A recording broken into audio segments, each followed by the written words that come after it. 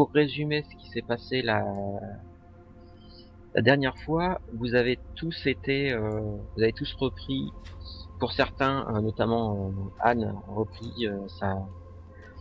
son petit train-train à l'hôpital, même si entre-temps, tu as quand même réussi à rencontrer le docteur Trollop, qui t'a qui t'a donné quelques informations, qui t'a confirmé qui t'a confirmé pas mal de choses que vous saviez déjà ou vous aviez un peu pour lesquelles vous aviez quelques des intuitions, notamment sur le fait qu'il euh, estime qu'il pense pas que Alexander Roby soit coupable, que son frère, contrairement à ce qu'on pourrait croire, euh, tient à lui et que c'est pour ça que et aussi il y avait le, le fait qu'il soit interné, c'est aussi pour éviter tant qu'il est interné, il ne peut pas être jugé. Et euh, voilà. Euh, vous aviez eu comme, un, comme autre info du docteur Trollop que je me souvienne bien. Euh, euh, je crois qu'il t'avait dit qu'il avait, ça faisait un bout de temps qu'il n'avait pas été voir euh, Alexander Roby, mais par contre la, dernière fois qu'il y était allé, il y avait, qu'est-ce qu'il t'avait dit exactement sur sur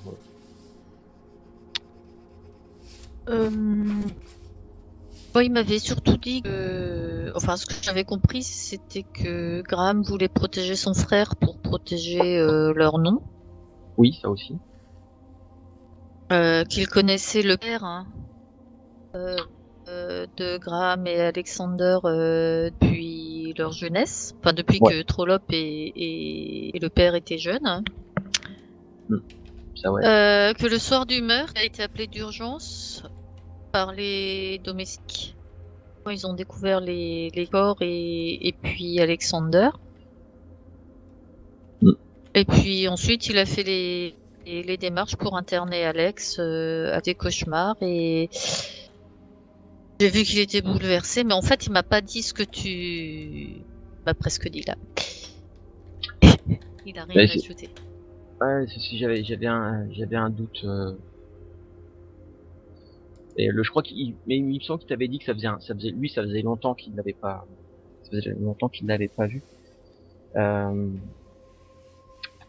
Donc il y avait ça du côté de Henri. Toi, tu avais, tu avais réussi à rencontrer euh, Graham Roby, un, homme très très occupé, euh, qui t'a, qui t'a expliqué que le, que Alexander en fait euh, faisait partie d'une espèce de, de groupe d'amis tous férus de de comme lui, ce qu'il appelait en fait des, foutaises, euh, autant de la philosophie que aussi de tout ce qui était des mythes, des légendes, voire même de l'occultisme.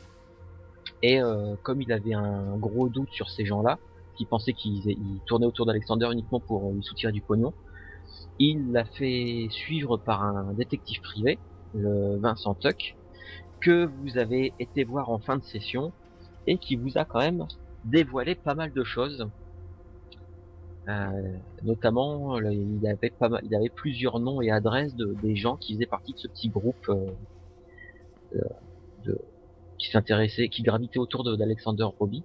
Mm.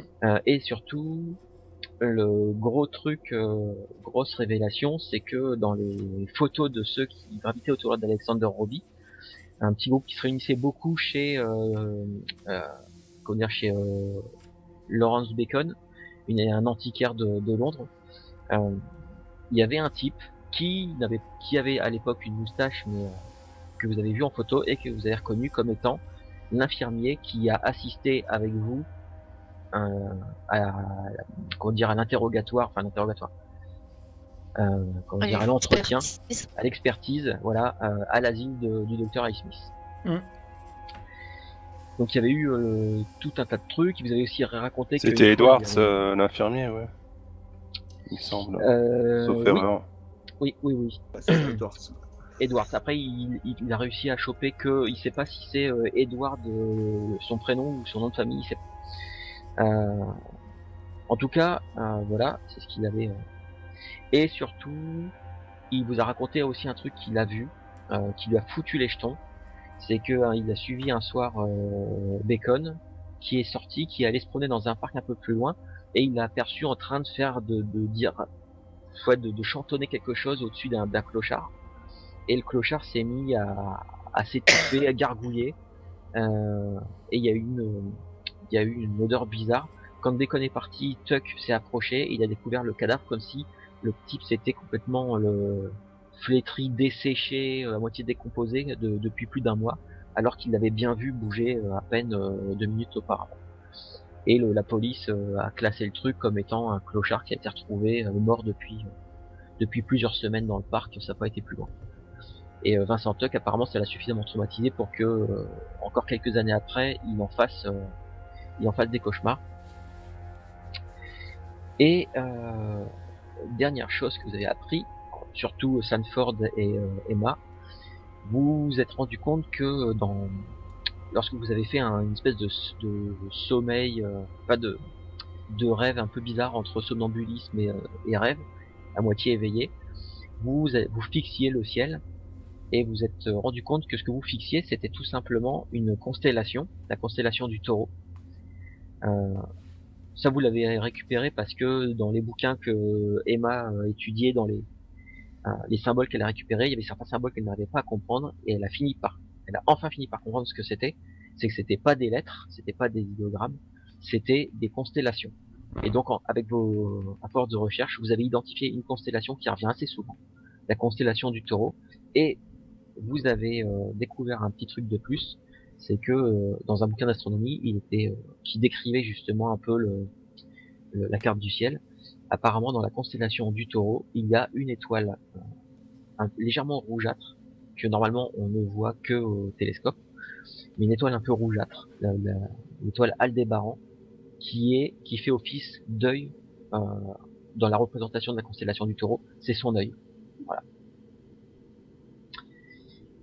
Et donc, le, alors tout ça, ça avait été dans la journée et vous étiez tous rejoints pour aller chez Vincent Tuck, qui vous avait raconté, donné pas mal de pistes, parler de Bacon, Edward, euh, le petit groupe et tout ça. Euh, bon, ça s'était plutôt bien passé euh, chez le détective privé, même si euh, ouais, était, pas, était pas super à l'aise à cause du type qui était euh, pas super soigneux, euh, pas très très propre sur lui. Euh, Disons qu'on a su mettre un peu la pression sur lui, quoi. Oui, bah oui, voilà. C'est pour ça qu'il vous a réussi à avoir quelques infos. Et oui, il y avait aussi la l'ancienne fiancée de d'Alexander Robbie. Euh, Henri, tu avais commencé à faire des recherches, mais comme tu as foutu un peu la merde je crois que c'était pour ça, je crois. C'était pour elle euh, que tu avais. Ah non, c'était pour. Euh, ou c'était pour euh, Lucius Harrywell. Ouais, c'était pour Lucius Harrywell que j'avais fait des recherches où j'ai tout déglacé. voilà. mais l'adresse. Mais l'adresse de commande de Delia, on l'a grâce à, Vincent Tuck en fait.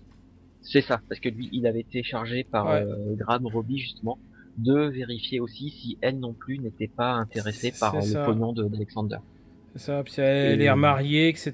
Donc, euh, mais avoir quand même des, des informations sur euh, l'état d'esprit à l'époque de, euh, de comment d'Alexander, ce serait pas mal aussi. Mm. Mais bon, il y a d'autres gens à contacter, on en a plein. Hein. Il y a Malcolm Quarry, il y a, y a, bah, y a Laurence, Laurence Bacon.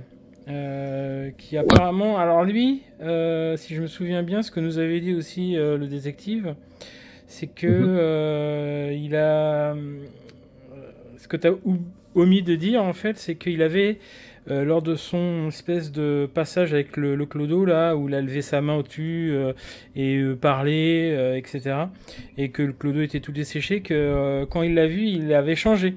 ses cheveux étaient moins blancs et euh, son visage était moins ridé. Mm. C'est ce que nous avait dit euh, Vincent Tuck. Hein. C'est ça.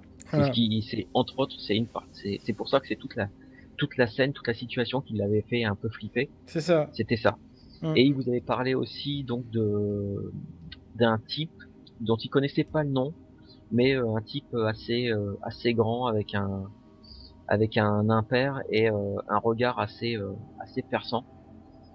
Et euh, même ce qu'il vous avait, ce qu'il vous avait dit qu'il avait frappé, c'est que alors que lui était planqué, euh, enfin il était en planque face devant chez euh, le Bacon, le type était sorti et il avait quasiment pointé son regard droit sur sur Tuck directement et ça lui avait ça, ouais, ça l'avait marqué ça. Mais par contre il ne sait pas qui c'est. il n'a pas de, mm. il a même pas eu la présence d'esprit de prendre une photo de ce mec-là, euh, tellement qu'il a été surpris. Et donc voilà. Il... Par contre, des photos de Laurence Bacon et de de Edward, ça vous, ça il vous les a filés. D'ailleurs, il vous avait refourgué tout le dossier, il voulait ouais, entendre parler. Ouais, c'est ça. C'est ça.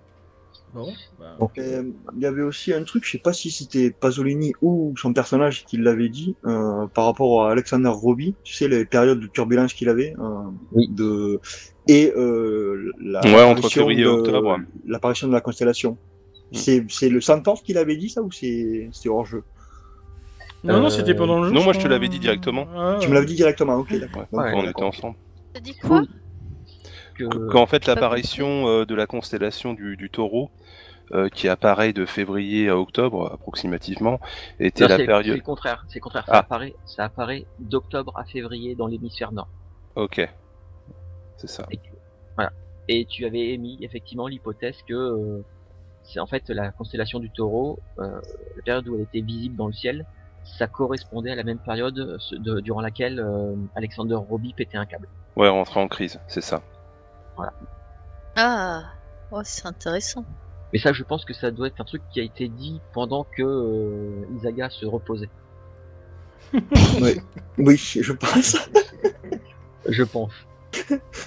À, tous les coups, c'est ça. Donc euh, voilà. Euh, ok, écoutez, le... On Ouais, je crois qu'on s'était arrêté le... après la visite chez chez le détective privé. Euh, vous étiez rentré, euh, vous étiez rentré tout chez vous euh, dormir. Merde, par contre, ça m'énerve. Le calendrier, à chaque fois, à chaque fin de session, il m'efface les trucs, le repère que j'avais mis sur la date. Alors, alors, je sais qu'il y avait un samedi 21 octobre 1928 où tout a commencé. Euh, Après, on a passé le week-end. Et, ensuite, on bah, a fait un début de semaine. Bah, je crois qu'on est au mois de novembre. Moi, j'ai, moi, j'ai jeudi 1er novembre. Hein. Ouais, et bah oui, c'est ça, parce qu'on avait passé. Euh... Je vous avais même dit, oui, ça y est. Euh, enfin, c'est, c'est le jour d'Halloween. Ouais. Ça y est. Donc, euh, ok, on est le vendredi. Donc, on est. On est vendredi 2 novembre, c'est ça? Vendredi 2 novembre, exactement. Donc, on va partir du principe que la veille vous avez rencontré donc euh, plusieurs personnes, vous aviez pas mal de pistes, vous en avez discuté le soir, et le lendemain, euh, donc le vendredi, au petit matin, vous êtes certainement donné rendez-vous ou ou attribué des tâches ou euh, avez discuté de ce que vous alliez faire chacun de votre côté. donc on va on reprend à ce moment-là. Au petit matin, chacun vous allez me dire ce que vous avez l'intention de faire pour la journée compte tenu de tout ce que vous avez appris la veille, euh, ou notamment pour Emma, tu as encore pas mal de pas mal de boulot sur le euh, sur les traductions des symboles, sur la traduction euh, de tout ce que tu as récupéré. Donc bah, bah, on va commencer par toi Emma. tu, tu comptes faire quoi pour la journée? Pour la journée, bah, le matin je vais aller au British Museum, hein, continuer mhm. à bosser dessus. Et l'après-midi, je dirais que ça dépend euh, des autres. Parce que je voudrais faire un truc avec Henri, mais il faut voir s'il sera disponible ou pas. Je pars du principe que vous en avez, vous en avez discuté. Donc euh, voilà, pour l'instant le matin tu te dis tu vas au British.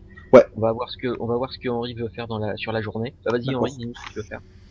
Alors, euh, pour avoir un peu toutes les informations dans les dans les mimines, j'aurais bien été voir en fait et qui même me suivent euh, mademoiselle Hartson Delia.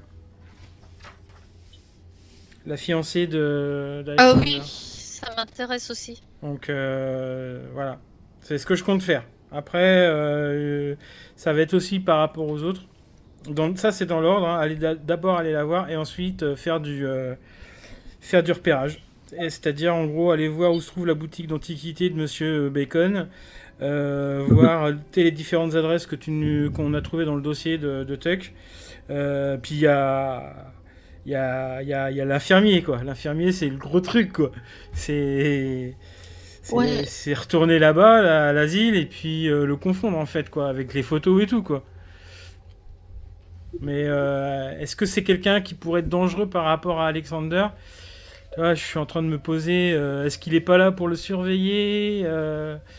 Ou des choses comme ça. Je, je sais pas. Donc. faites Anne et Henri, je, je, tous les deux, euh, faites-moi juste un petit test de d'intelligence parce que bon, je vais pas le l'infirmier, le, docteur Smith a donné a donné le nom de l'infirmier et je me doute que vous l'avez peut-être pas forcément noté à ce moment-là. C'est histoire de voir si vous vous en souvenez. Euh, si un jeu d'intel, c'est ça et, et par par contre, moi, je sais que je, veux vérifier sur. Euh, j'imagine qu'il y a un registre hein, par mhm. rapport au diplôme euh, d'infirmier. Je veux vérifier si c'est un vrai infirmier ou pas. Ok. Alors, euh, bon ben, Anne, toi, tu, c'est toi, tu te souviens, tu te souviens de comment il l'appelait. ouais. Apparemment, le docteur Smith l'a appelé Monsieur Evans.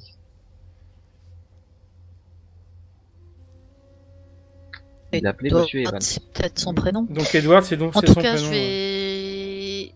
je vais rechercher dans les dans les fichiers si il y a bien un Monsieur Evans, euh, infirmier dont l'âge correspond au et qui éventuellement s'appelle Edward et dont l'âge correspond au monsieur qu'on a vu, voir si c'est un imposteur, euh... c'est vraiment un infirmier ou ce qui change pas forcément grand chose, mais au moins euh, c'est la façon d'aborder les choses avec euh, Ice Smith qui peut être différente. Alors, euh, ça, ce genre de truc là, c'est tu peux tu peux en faire une demande.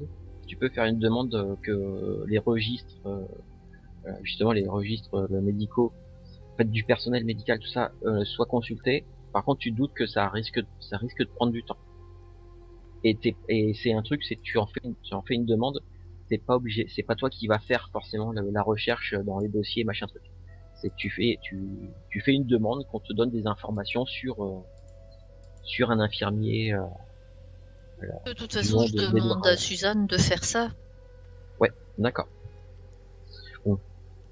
Ok, donc ça, Suzanne, elle va s'occuper de ça. Euh, donc toi Henri, toi tu voulais aller creuser ce dès ce matin la, piste de Delia. Emma, toi tu euh, euh, Anne, tu m'avais dit que tu voulais euh, aller avec lui. Emma qui va au British et Sanford, tu veux faire quoi toi? Bah en tout cas vu, je pense la menace qui pourrait se mettre envers nous dès qu'on va rencontrer Lawrence Bacon et puis Edward Evans, je pense que l'union fait la force et voilà, je préfère accompagner Emma et euh, pas Emma mais Anne et, euh, et Henri. Mhm. Euh, et puis ce matin, ouais, je peux, je peux t'accompagner, Henri, pour aller voir Delia. et puis le soir, je rejoindrai Jane. Ouais. Et juste, y avait. Je l'appellerai juste dans la matinée, voir si c'est toujours d'accord, s'il n'y a pas de contretemps. Mm.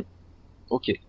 Euh, juste, ah, Emma, tu t'avais dit que tu voulais faire le British le matin, mais que l'après-midi tu voulais faire un truc en rap, enfin par avec par rapport à Henri selon ce qu'il voulait faire.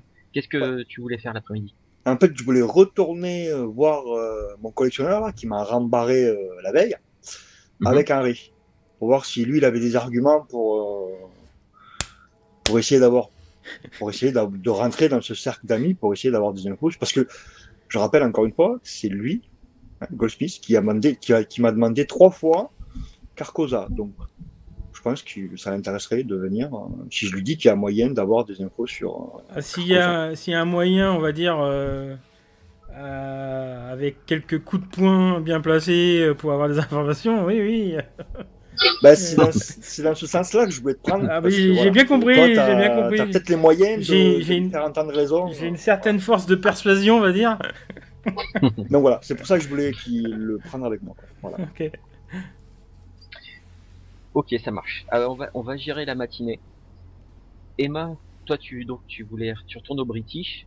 Euh, tu tu voulais aller au British pourquoi? Pour euh, continuer à Bah ouais ouais. Et est-ce que bosser sur tes notes? Ouais, et est-ce que ça me ferait avancer plus de savoir que justement maintenant euh, j'ai cette histoire d'Alexander Roby, la période, voilà, la constellation. Et maintenant que je m'en rappelle, euh, il y a aussi euh, ce que j'ai déjà traduit par rapport mhm. au rituel. qui aussi est dans cette période. Ça fait, Ouais. trois, ça fait trois éléments qui se rejoignent. Du coup, est-ce Ok, que ça m'aide ouais. un peu plus dans ma recherche ou? Eh ben, si tu te concentres là-dessus, tu vas me faire un test de, tu vas faire un test d'occultisme avec un, tu vas faire avec un dé bonus. Alors, comment je fais? J'ai jamais fait de débonus. Alors, tout en bas sous le chat, tu as majeur plus 1B, tu cliques sur plus 1B et après tu fais, tu cliques sur ta compétence. D'accord. Et le principe en fait c'est qu'il va, lan- il va lancer euh, 2 dés, euh, 2 dés de dizaine et il prendra le meilleur. Pouf Donc D'accord. réussite majeure. Alors, ça va te, ça va te prendre quasiment toute la matinée. Euh, Il y a un moment donné où tu vas te dire bon, le, j'ai peut-être, euh, bah, il y a des, t'essayes de mettre les éléments, de trouver des trucs qui correspondent et il y a des trucs, euh, il y a un moment donné tu, t'arrives pas forcément à, à faire les liens euh, comme ça. Euh, jusqu'à ce que tu te souviennes de certaines choses que tu as lues dans des, dans des bouquins d'occultisme. Euh, alors ce que tu sais, euh, ce que tu sais, c'est que souvent, souvent les euh, tout ce qui est, comment dire, époque de l'année, solstice, équinoxe, euh, tout ça, ça a des importances vraiment particulières pour euh, dans tout ce qui est sorcellerie. Ça, tu le sais. Il y a aussi l'influence de l'influence de la lune, mais il y a aussi le des, on pourrait dire des alignements de, planètes, ce genre de trucs. Donc ouais, le, la position du ciel, des étoiles et autres, ça peut avoir une, incidence. En tout cas, selon les croyances de ceux qui ont écrit les, les bouquins de sorcellerie, d'occultisme et tout ça, ça peut avoir une incidence. Maintenant, toi, en fouillant, le, en essayant de raccorder tout ça, le, la période, euh, le, la constellation et, et tout, euh, et les notes que tu as déjà prises, puisque maintenant tu as une piste de constellation et tout ça, tu sais que c'est ça parle de période de l'année et tout, tu réussis à comprendre, à débloquer quelque chose. Dans toutes tes notes, dans tout ce que tu as récupéré qui était caché dans les, qui était caché dans les gravures de, de- du roi en jaune, tu, doutais qu'il y avait un truc, peut-être une espèce de cérémonie cachée dedans, de rituel, un truc comme ça. Effectivement, il y a, ça. C'est bel et bien une espèce de, rituel et en fait tu commences à décoder, à décrypter euh, en gros le, déroulé d'un rituel en particulier. Et le truc c'est que tu te tu sens que tu as mis le doigt sur quelque chose puisque ce que tu en comprends c'est que ce serait un rituel. Alors c'est pas encore, il faut que tu peaufines encore, faut que tu affines encore les trucs, mais c'est un rituel alors soit qui ouvre une porte euh, vers Carcosa, ou alors c'est un rituel qui fait, euh, qui ferait euh, qui appellerait le, comment dire, l'émissaire de l'homme masqué, qui appellerait l'émissaire. En tout cas, tu sens ce truc-là, c'est pour ça, il faut que tu peaufines encore, mais tu sens que c'est un truc, c'est un appel lancé ou un passage ouvert vers Carcosa. Alors le truc c'est et apparemment c'est un rituel qui a l'air d'être assez complexe, euh, qui ne peut se- s'effectuer que pendant la période où justement euh, la constellation du Taureau est visible dans le ciel. Mais euh, et apparemment ça, ça doit nécessiter plusieurs personnes. Euh, a priori ça a même l'air de, de parler d'un de parler de d'un cercle de pierre. Donc euh, et ça a l'air d'être quelque chose d'assez euh, d'assez long à mettre en place et d'assez euh, voilà, vraiment énorme comme rituel. Il y a pas, enfin, peut-être que j'ai pas encore tout traduit, mais il n'y a pas encore d'histoire de sacrifice ou de trucs comme ça dessus? Non, il n'y a pas de D'accord. Ça, ça parle pas de ça parle pas de sacrifice. Non non, il y a C'est juste un rituel à faire. euh, apparemment il y a une espèce de cérémonie qui a l'air d'être très longue euh, qu'il faut faire un euh, le- ça parle d'un cercle de pierre, mais alors euh, un cercle de pierre en Angleterre, bah on a plusieurs. Ouais, bon courage. Voilà. Euh, mais par contre, tu sais, enfin, tu sais que le rituel est censé se produire entre euh, octobre et février.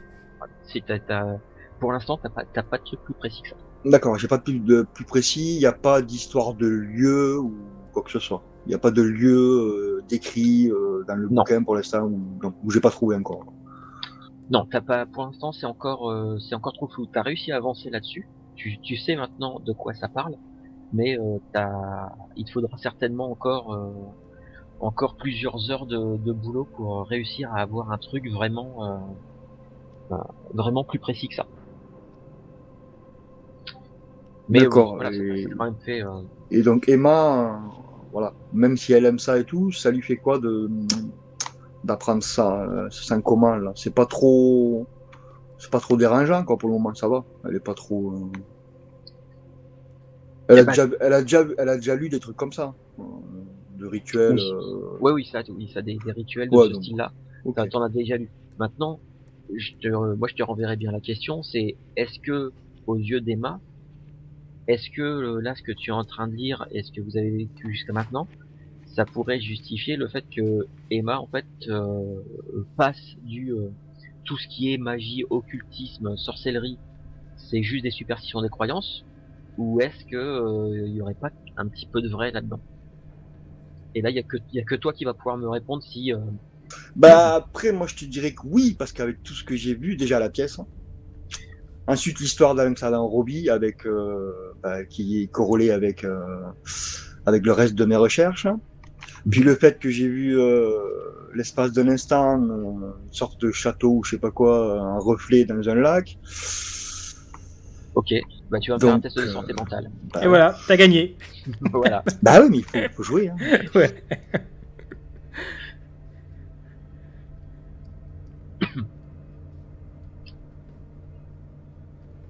Oh, un petit échec. Bah oui. un, un de plus que ce que j'avais. Alors tu tu vas perdre 3 points de santé mentale. Ok. Et c'est c'est pas forcément c'est pas que par rapport à ce que tu viens de découvrir aujourd'hui. En fait, c'est l'accumulation depuis plusieurs jours. Bah oui, je, voyais comme ça de toute façon. C'est Ouais, le truc qui tombe, euh, voilà. Donc voilà, voilà, voilà, ta matinée a été bien, bien chargée, bien occupée. Euh, on va passer à Sanford, Anne et Henry. Donc vous, vous aviez l'intention de retrouver la piste de, de Delia le l'ex-fiancé de d'Alexander Rocky. Ouais. Vous aviez euh, son adresse par le, le détective privé. Euh, donc euh, le, bah, en fait, euh, elle vit, euh, elle vit dans le, ça, j'ai pas vérifié. J'ai pas vérifié si c'est dans la banlieue proche de Londres ou pas. Moi j'ai noté un truc, mais euh, j'arrive pas à me relire. Di- direction Ere- Erevord ou Ereward, enfin, je sais pas ce que j'ai mis. Je sais pas si ça. Ouais, je sais pas si ça te dit quelque chose. euh. euh, les euh, Hereford, c'est une région, D'accord, ok. Euh, une région. J'avais mis, ça- j'avais mis ça en dessous de, de Delia euh, Hartson, mais est-ce que c'est un rapport? Je sais plus. Je prends tellement de notes que je me perds dans mes notes. Alors, je fais juste une petite vérif, parce que je sais bien que j'avais oublié quelque chose. Je sais un quartier de Londres apparemment.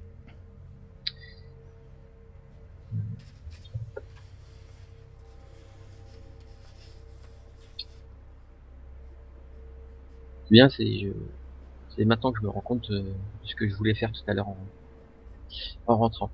Alors, ça se, alors c'est bien ça. Ça se situe dans le la, la banlieue euh, nord de Londres. Faut compter depuis le centre-ville de Londres. Euh, faut compter un bon 15 km. Euh, et c'est une petite ville qui s'appelle euh, Enfield Lock. Et donc vous avez vous avez son, adresse, hein, 18 euh, Turkey Street. Je vais juste vous écrire, je vais juste vous noter le, nom du, village où vous l'habite. Hop, Enfield. Donc euh, tu sais que euh, voilà pour y aller depuis le depuis le centre de Londres, euh, il vous faudrait un un bon 45 minutes, euh, une heure pour y aller. Ok. Bah, si tout le monde est d'accord, euh, on peut y aller. Je prends la voiture. Oui, oui, ok pour moi. Vous quittez Londres donc au, au petit matin, direction Enfield Lock. Et dans, dans la rue, euh, dans Turkey Street, euh, lorsque vous avez, euh, lorsque vous arrivez là-bas, c'est une petite rue typique de la banlieue de Londres avec euh, des maisons euh, accolées les unes aux autres, euh, toutes quasiment identiques, si ce n'est parfois la, la couleur des rideaux qui change.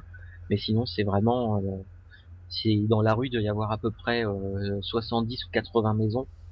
Elles se ressemblent toutes. Et au 18, euh, il y a, il y a l'air d'y avoir, euh, il y a, l'air d'y avoir quelqu'un puisque euh, il y a une fenêtre qui est ouverte, sans doute pour aérer un peu le, aérer les, les, les chambres, les pièces du haut.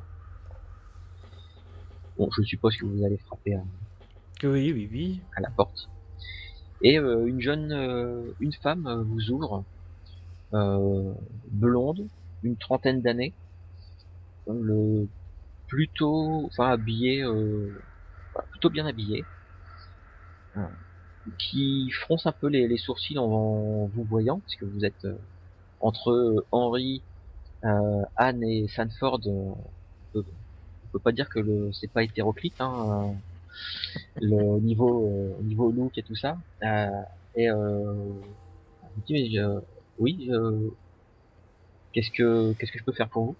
Euh, Mademoiselle Hudson? Euh, ah il y a c'est Madame Morrison maintenant D'accord. Euh, voilà, on a été euh, dépêché. euh, pardon, toutes mes excuses.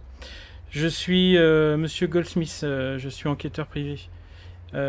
Pour l'instant, je travaille pour la famille, la famille Roby. Je pense que ça vous dit quelque chose? Euh, oui tu vois tout de suite que son elle tique quand tu quand tu parles de la famille Roby euh, et avant que tu ailles plus loin il y a une voix qui résonne de, de l'intérieur de la maison et une voix de d'homme qui euh, qui fait euh, Delia c'est qui? Oula. elle se, elle vous regarde, elle se tourne vers l'intérieur de la maison. Et, euh, le, rien, rien, reste, reste dans ton fauteuil. euh, le- Euh, J'arrive, j'arrive.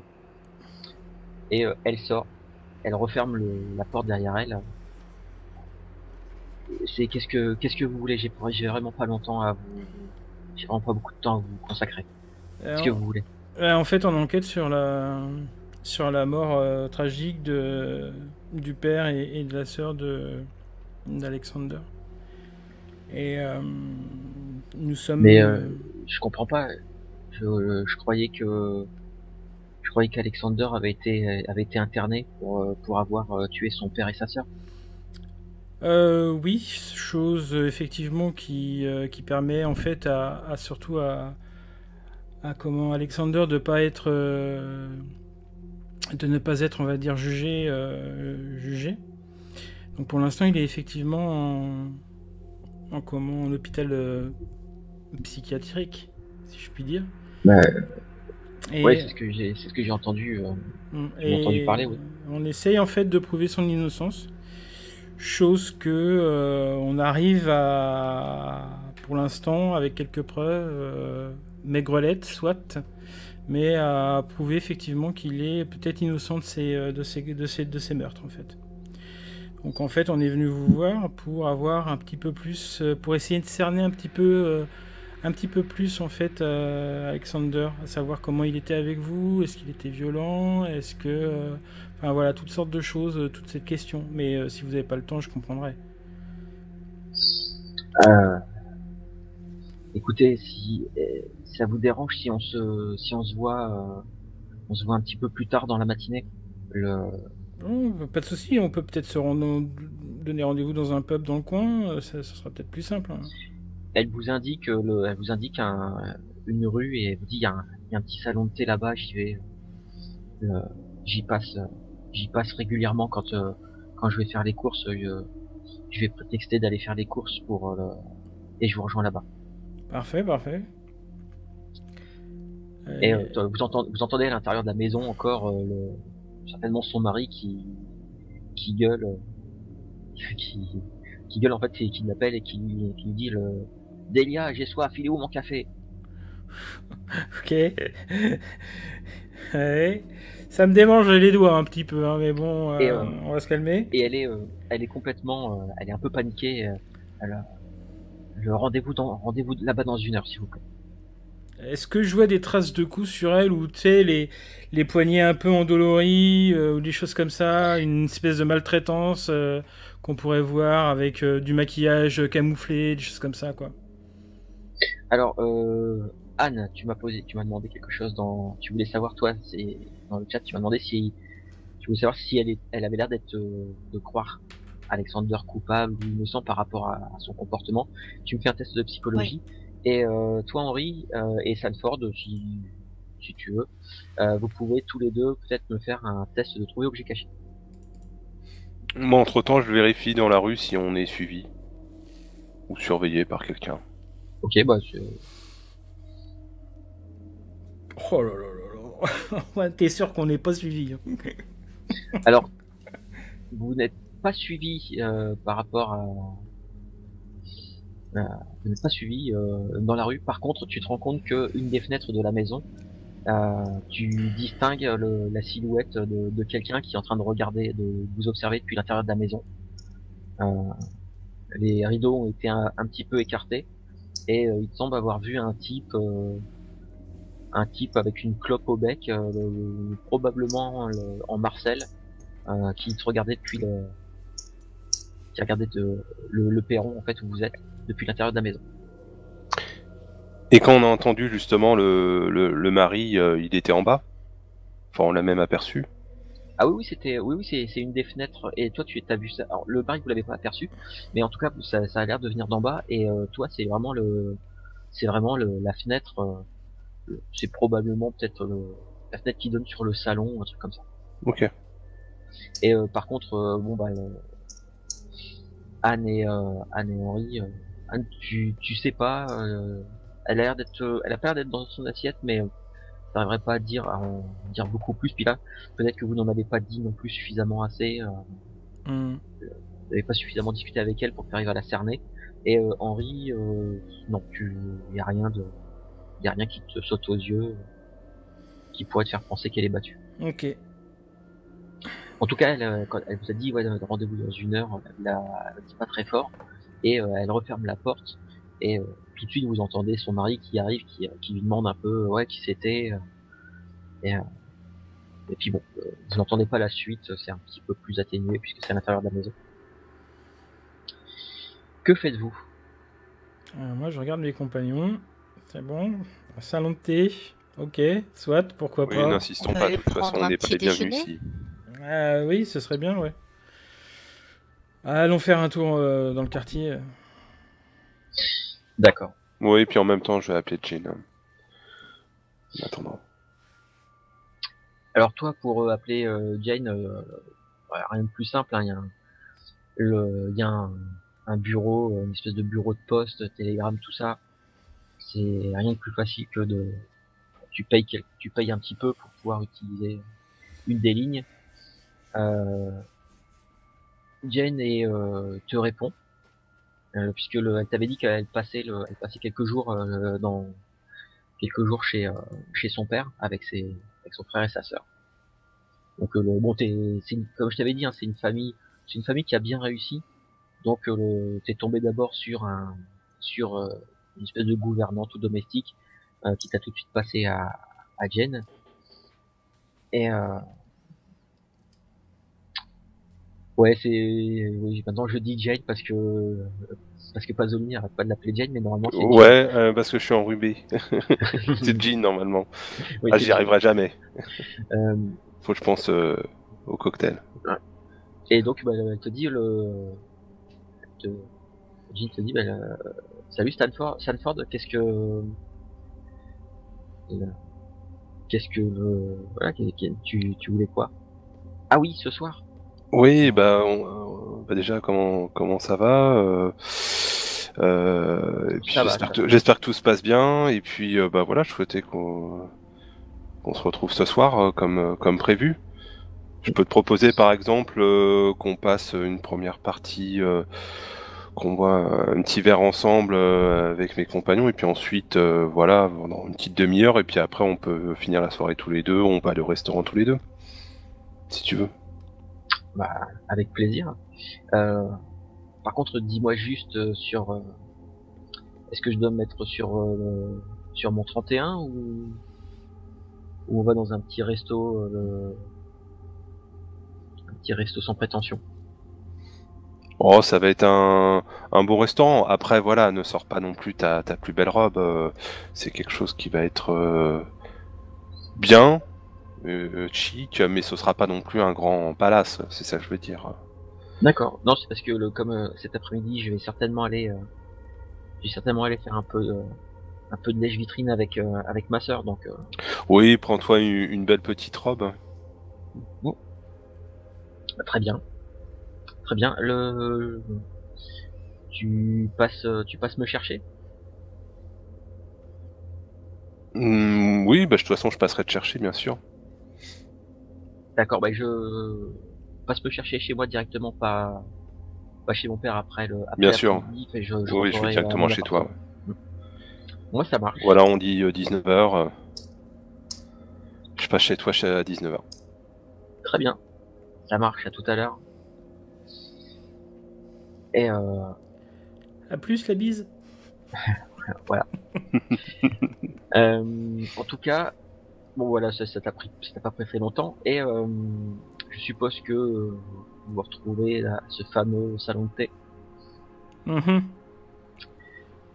Ah, donc Super. ouais, euh, ah oui oui, c'est très très pépère. euh, là, quand Eh oui, vous arrivez oui. là-bas, Ouais. c'est le, le, petit- le salon de thé anglais.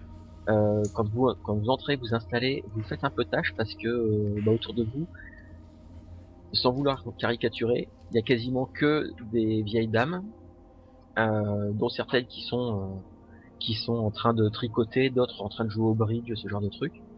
Euh, donc euh, ouais, vous faites un petit peu tâche quand même. Il y a des- vous attirez quelques quelques regards et euh, et il y a une il y a une serveuse qui vient euh, qui vient prendre vient vous installer, prendre votre commande. Euh, donc qui dit salon de thé, il y a énormément de thé, notamment qui viennent des qui viennent des colonies avec pas mal de parfums assez exotiques. Et euh, finit par arriver donc Delia euh, Hartson, enfin anciennement Delia Hartson, euh, mais euh, Delia Morrison maintenant, qui arrive, qui vient se lorsqu'elle rentre, elle jette un petit coup d'œil dans, le salon de thé, elle vous aperçoit et elle vient s'installer euh, à table avec vous en passant une, en demandant une, tasse de thé avec une petite euh, une petite pâtisserie avec. Euh, vous la voyez en fait, elle, elle, euh, s'est assise, elle pendant quelques instants, elle a, elle tendance un peu à se tordre les mains euh, sous la table. euh, et euh, oh, veuillez m'excuser pour tout à l'heure. Oh non, non, pas de, pas de, pas de souci, pas de problème, euh, mademoiselle Hartson.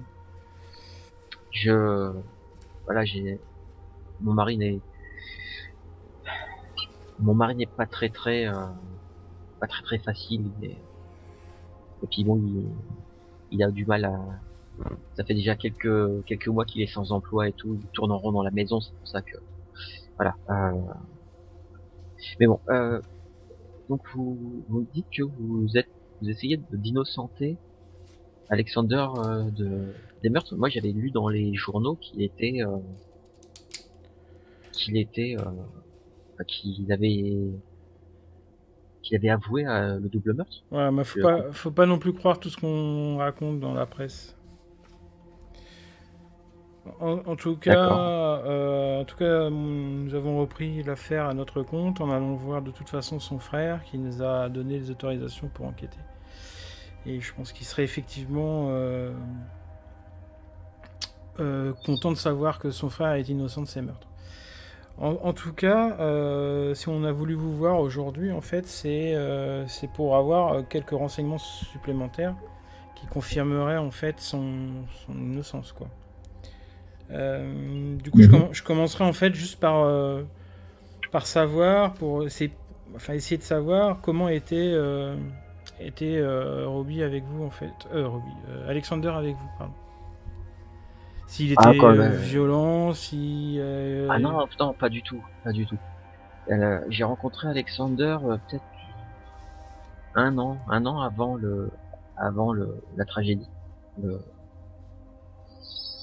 En fait, on s'est rencontrés lors d'une conférence sur le, sur les, sur les superstitions de la vieille Angleterre et tout ça, et c'est un sujet qui, me- passionnait à l'époque. Et, lui aussi, on s'est rencontrés là-bas. On, s'était, en fait, je l'avais déjà remarqué à une autre conférence qui avait été donnée quelques semaines auparavant. euh, on a sympathisé et puis, euh, puis après c'est allé, c'est allé plus loin.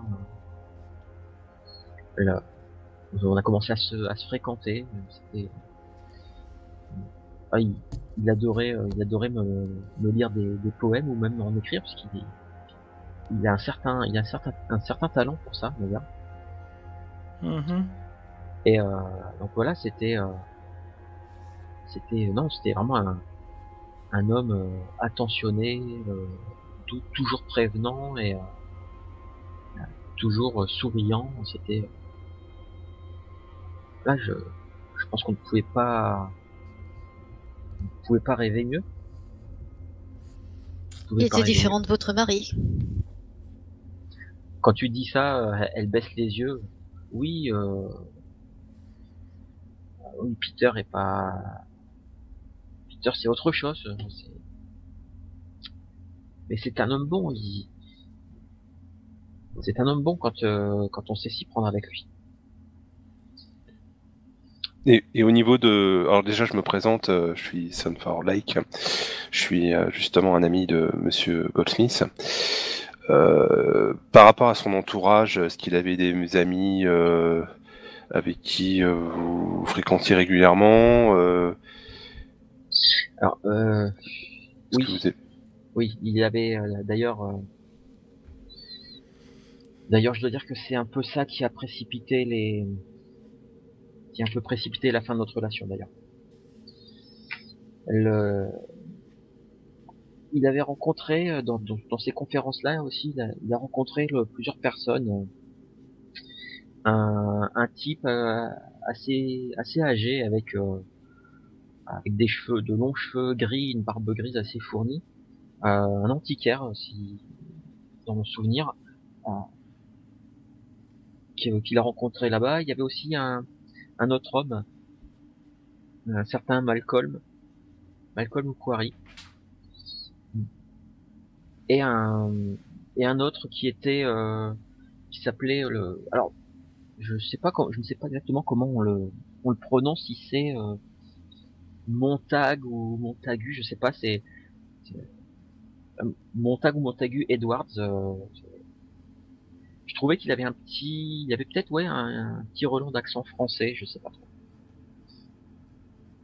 en tout cas c'était voilà c'est ce petit groupe de personnes là et puis il y en avait un autre aussi euh, euh, mais un type qui me, je l'ai, croisé une seule fois et il m'a fait froid dans le dos et même Alexander s'en méfiait. Il, euh, il, m'avait insinué une fois qu'il c'était quelqu'un de, de pas très recom- euh, recommandable. Euh, Combs. Combs. Je sais, je ne pourrais plus vous dire son, euh, Combs. C-O-M-B-S. Je pourrais pas vous dire son prénom, je l'ai, je, je ne le connais pas. Pas toujours dit que ce, ce petit groupe là, euh, je sais que euh, Alexander, euh, quand il a commencé à les côtoyer, je sais pas, il a changé de comportement, il est devenu euh, euh, à la fois surexcité, il commençait à, à tenir des propos de plus en plus, euh, de plus en plus fous. Euh, moi, je m'intéressais à tout ça, mais euh, uniquement, euh, voilà, c'est par curiosité, parce que voilà, j'aime bien ce, genre d'histoire, mais lui et ce groupe de personnes avaient l'air de vraiment y, mettre, euh, y donner du crédit, euh, au-delà de ce que moi j'étais capable de d'accepter. Je sais qu'ils ils se réunissaient souvent chez euh, chez l'antiquaire. Ils y passaient des soirées entières à discuter. J'y suis allé une fois avec eux et j'avoue que c'était, euh, il y avait il y avait certaines choses intéressantes, mais euh, il y avait d'autres choses qui étaient mais complètement, c'était euh, assommant. euh, et des, trucs, mais j'ai pas, je comprenais pas tout. Pourtant, l'un d'eux, Quarry, a, avait même écrit un bouquin, apparemment, que j'ai feuilleté. Il y avait certaines choses intéressantes, mais mais au bout d'un moment, ça, ça devenait trop, ça devenait dérangeant. Et je n'ai plus, j'ai plus voulu aller à ces, ces réunions. Pourtant, Alexander m'avait dit que euh, il était très content de m'y emmener. Euh, je vous dis, il était surexcité, mais euh,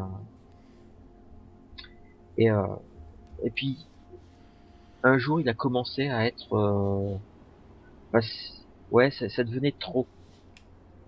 Ça, ça devenait trop. Je sais pas. Il y avait quelque chose qui me qui me gênait un peu dans ce dans toute leur dans toute leur histoire. Il m'a parlé, euh, il m'a dit qu'il devait quitter le peu de temps avant le. On s'est séparés quelques semaines avant le, la tragédie. Peu de temps avant la tragédie, on s'est séparés. Et je sais qu'à ce moment-là, il était, je le reconnaissais plus en fait. Je le reconnaissais plus. Il, c'est pas qu'il était, il était plus gentil ou attentionné ou quoi que ce soit. C'est juste que euh, j'avais l'impression de voir un autre homme euh, tout le temps plongé dans ses dans ses vieux bouquins. Euh, parfois le regard dans le vague. euh, parfois il regardait, il pouvait fixer un point dans le vide avec un air complètement béat. Je, je sais pas. J'ai quand je lui en parlais, il, il me disait qu'un jour euh, que bientôt je saurais. Et je sais que euh, lui et son petit groupe là, ils avaient, il m'avait, il m'avait parlé d'un, il m'avait parlé d'un endroit où il devait se, il devait se rendre. Un petit village dans le Suffolk, euh, le village de Claire Melford, je crois. Un, nom dans ce genre-là.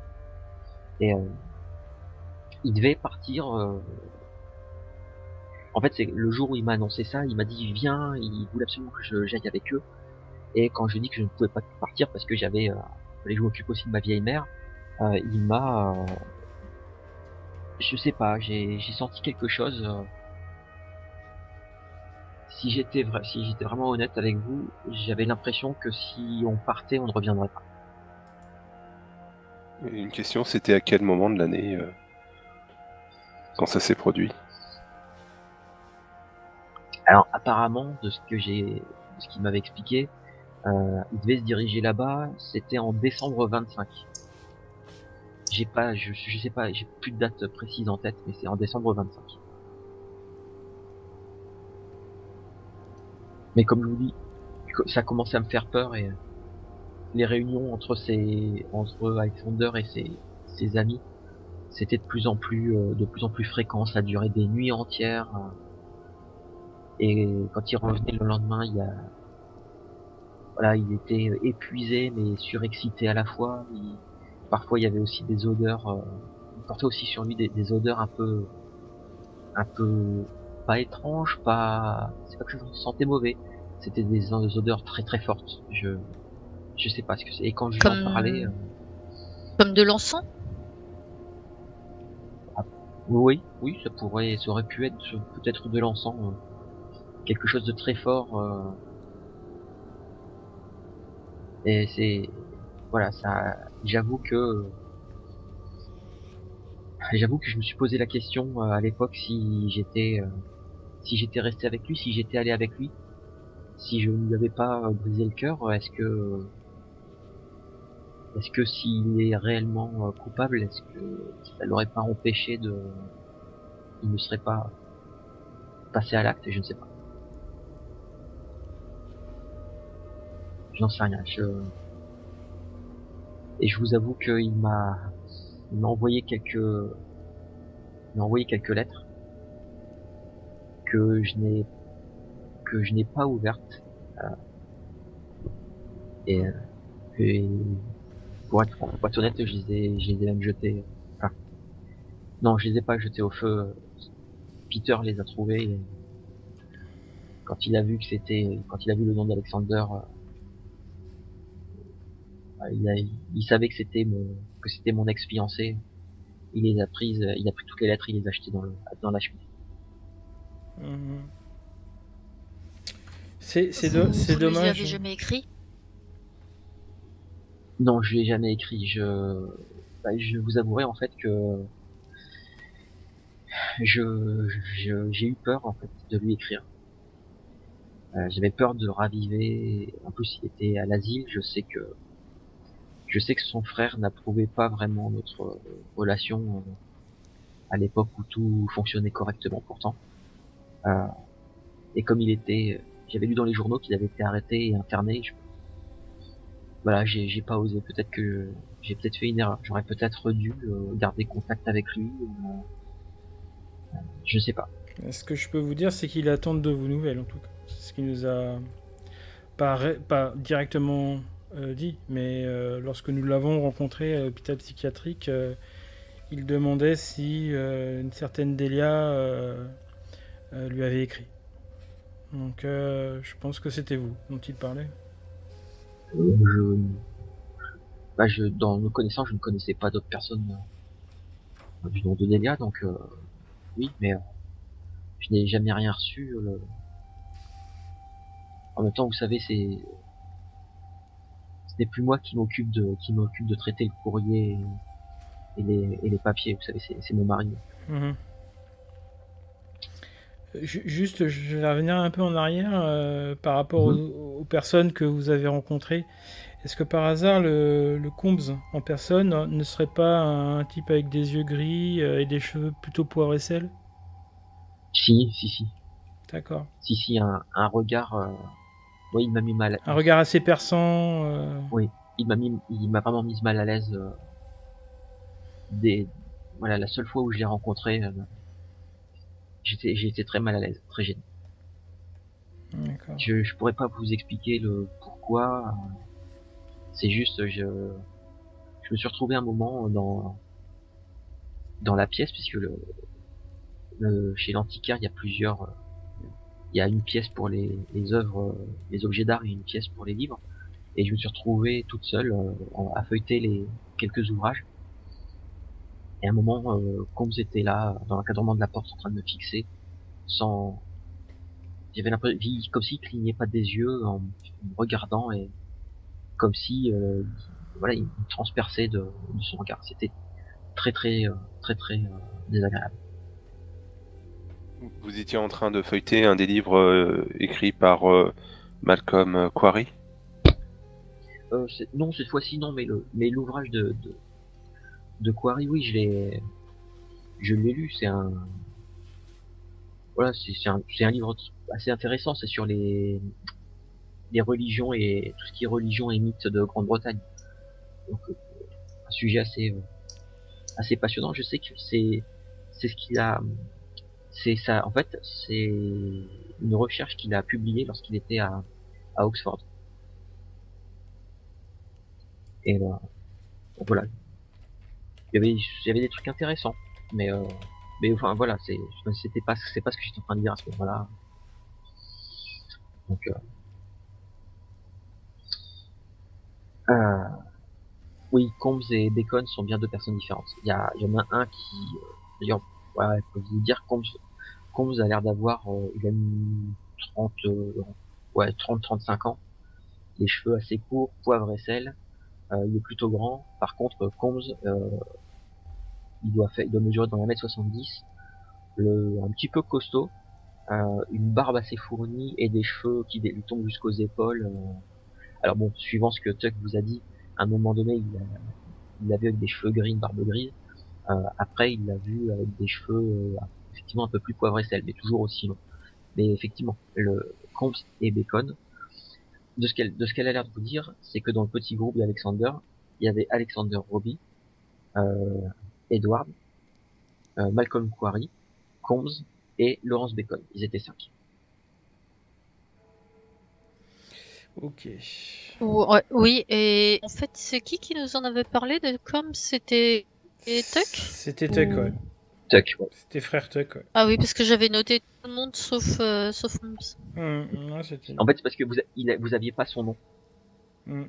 Vous aviez pas son nom jusqu'à maintenant. Et apparemment, Monsieur Edwards euh, a, l'air aussi de, de changer de prénom comme de chemise. hein. Un coup c'est Evan, un coup c'est Montag. euh, Donc euh, lui, euh, enfin, tous les autres d'ailleurs, tous les Ah, autres sont, ouais. sont vraiment très suspects. hein. Ça pue. Hum, Ouais, ouais. Donc, euh, Bah, merci beaucoup, hein, euh, mademoiselle. Euh, je lui tends ma carte. Je fais, si jamais vous avez euh, n'importe quel souci, tu sais, je lui prends la main. N'importe quel souci, euh, vous pouvez m'appeler. N'importe quelle heure, le jour de la nuit. elle, euh, alors, elle a toujours sa main, en, tu lui as pris sa, sa main et tout ça. Tu vois que, ça, enfin, c'est là, vous avez discuté avec elle. Alors, là, on a, voilà, je vous ai euh, expliqué, je vous ai raconté tout ça, mais ça, ça vous a pris peut-être un peu plus de temps. Euh, D'ailleurs, euh, n'hésitez pas hein, si vous aviez, euh, si vous aviez d'autres questions, même des questions, euh, pas en RP, mais plus euh, par rapport à elle, à son comportement, tout ça, faut pas hésiter. C'est vrai que j'ai un peu, j'ai pas mal d'évité de trucs, mais faut pas hésiter à, à, me demander. Mais euh, ça a vraiment l'air de quelqu'un qui, qui est pas du tout heureuse dans son, Dans son couple, ouais. dans son couple, ça c'est clair et net. D'où ma carte, hein, c'est vraiment j'insiste là-dessus. hein, euh, voilà. Je en lui en regardant dans les yeux en lui disant euh, pour le moindre problème, vous inquiétez pas, j'ai une voiture, je peux me déplacer. Elle sort, euh, et donc comme je disais, comme elle a toujours sa main, elle, prend sa carte, elle la glisse dans son sac à main, et elle en sort un petit livre. Et elle dit, le- c'est ça, c'est c'est le dernier cadeau que m'a fait euh, Alexander. C'est quoi Ouais. en fait qu'attend j'ai pas compris. Euh, Un petit livre un petit livre, d'accord. Bah, je, je- je le prends. euh, qu'elle fait glisser sur la table. Euh, dit écoutez, le... tout à l'heure mon mari a, enten- a, a entendu le nom d'Alexander euh, et euh, c'est la, la seule chose qui me reste euh, qui me reste de lui. Si je le garde, il va le, il va certainement le, déchirer ou le mettre à la poubelle. Donc si je voilà, je préfère que je préfère que vous le preniez. Si vous revoyez Alexander, euh, redonnez-lui et dites-lui que dites-lui que je regrette euh, je regrette la la- l'époque euh, en fait je regrette l'époque où il a commencé à rencontrer à côtoyer ces personnes avant c'était le- on a vraiment passé de très bons moments si je pouvais retourner à ce moment-là je le ferais et, euh, voilà. et elle te tend le, elle te fait glisser le bouquin euh, un petit livre qui est pas très grand qui est euh, avec une couverture rouge en simili-cuir qui doit faire à peu près euh, peut-être 150 pages. euh, C'est euh, en format, il doit faire peut-être euh, ouais, il fait une 15 euh, 15 cm. C'est vraiment un petit for- un petit format euh, un peu plus grand qu'un format poche de notre époque. Euh, le et au moment où en fait elle te tend euh, le truc, elle tend le bouquin, donc enfin, elle fait glisser le, bouquin. Euh, Faites-moi tous un, tous les trois, un test de, de trouver objet caché, mais euh, il me faut un majeur. Enfin, vous faites en majeur, sous la moitié. Euh, on peut cliquer sur majeur, je pense, hein, euh, pour avoir la. C'est. Ça, ok. Donc vous êtes à ce moment-là, hein, elle, elle te tend le bouquin. Quand euh, il y a des bruits de pas qui arrivent de, de l'entrée de la du salon de thé, et vous voyez un type euh, qui arrive mais comme une furie. Il a juste une veste euh, par-dessus un marcel blanc à la couleur douteuse, un chapeau, une clope au bec, et il fonce vers vous. Et le Henri, en fait, euh, il te, il essaye de t'agripper. Euh, il, essaie- il, il veut- il te sépare de de Delia. Ok. Et en, en, en gueulant le, et euh, il fait le ah espèce de salope et en plus tu et en plus le, tu me trompes avec un nègre c'est ça? Ouais, et putain. il, il vous sépare comme un taré. Oh, Et moi, je dis, avec humour, et pendant que vous y êtes avec moi et, et euh, me- ma collègue euh, avec mon ami euh, qui est juste à côté. Ah, Mais arrêtez la parano. Ah tu vois que il, il a- chopé euh, il a littéralement euh, chopé Delia par le par le col. Oh, non, mais je, Et- je laisse et- pas faire. hein. Et il la, il la maintient. euh, Ah, j'ai fait une clé de bras, enfin bref, euh, pour le, les conduire euh, très gentiment au dehors de la- du salon de thé, mais j'ai fait une clé de bras quoi. Alors le truc c'est que dès que tu commences à faire quelque chose pour essayer de une clé de bras, tu vois, tu sens que le, le mec en fait, il s'attendait certainement à une réaction. Mhm. Euh, et donc le truc, ça, ça risque de dégénérer en, de dégénérer en baston. Ah putain. Ah, clairement là. euh, Donc tu me fais un, tu vas me faire un test de, un test de bagarre. Ok. Euh, c'est combat rapproché, hein, de toute façon. Ouais. Ouais. J'utilise des points de chance, je peux pas. On n'a pas le droit, je crois, en combat, de- d'utiliser des, des points de chance. Je sais plus. Je sais Moi, je t'aide hein, pour le neutraliser. Alors. Hop. Ah, c'est des jets de peau, c'est ça. Ouais. C'est des jets de position. Alors ce qui se passe, Henri, toi t'as- t'essayes de le, tu m'as dit que t'essayais de le choper, de lui faire une clé de bras pour le mobiliser. Ouais. Euh, le truc c'est que euh, bah, le type, euh, tu, commen- tu te demandes si euh, à un moment donné il a pas dû faire de la boxe, un truc comme ça, parce qu'il réussit à éviter, te, te- malgré le fait que tu l'aies chopé à un moment, il réussit à se dégager et il te, il te, te, te colle un, il te colle un coup de poing dans l'estomac. Ok.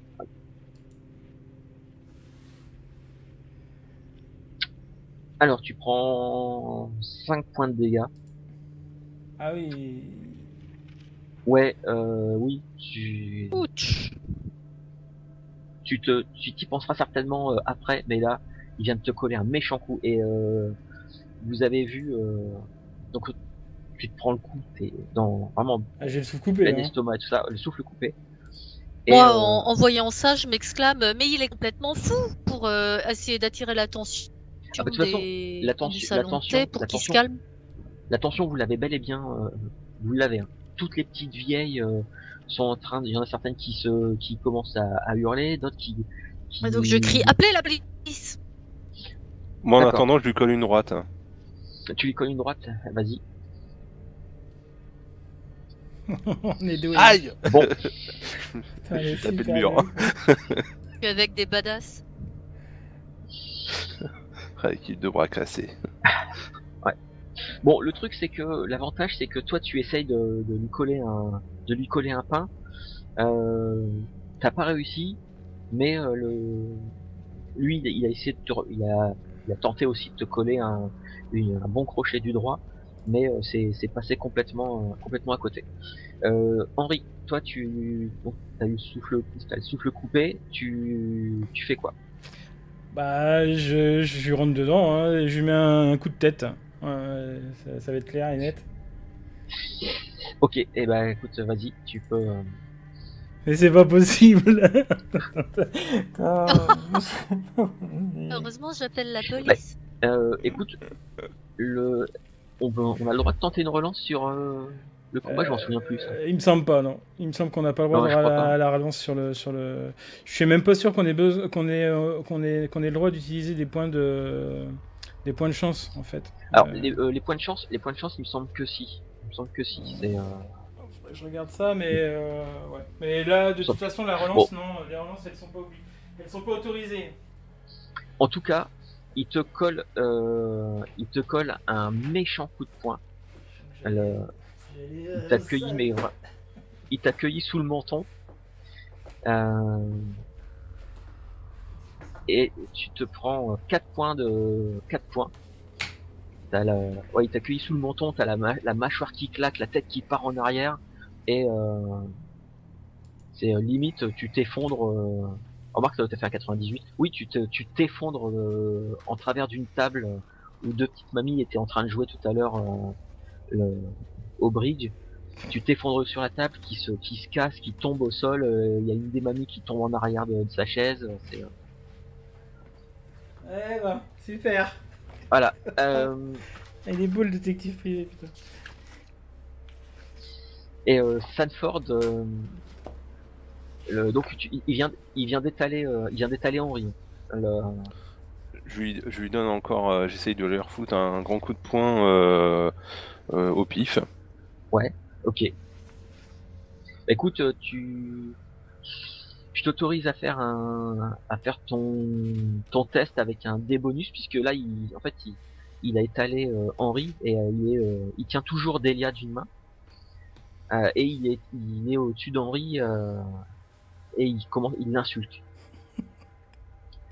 Ok, tu peux, euh, tu peux faire des, tu peux lancer des dégâts.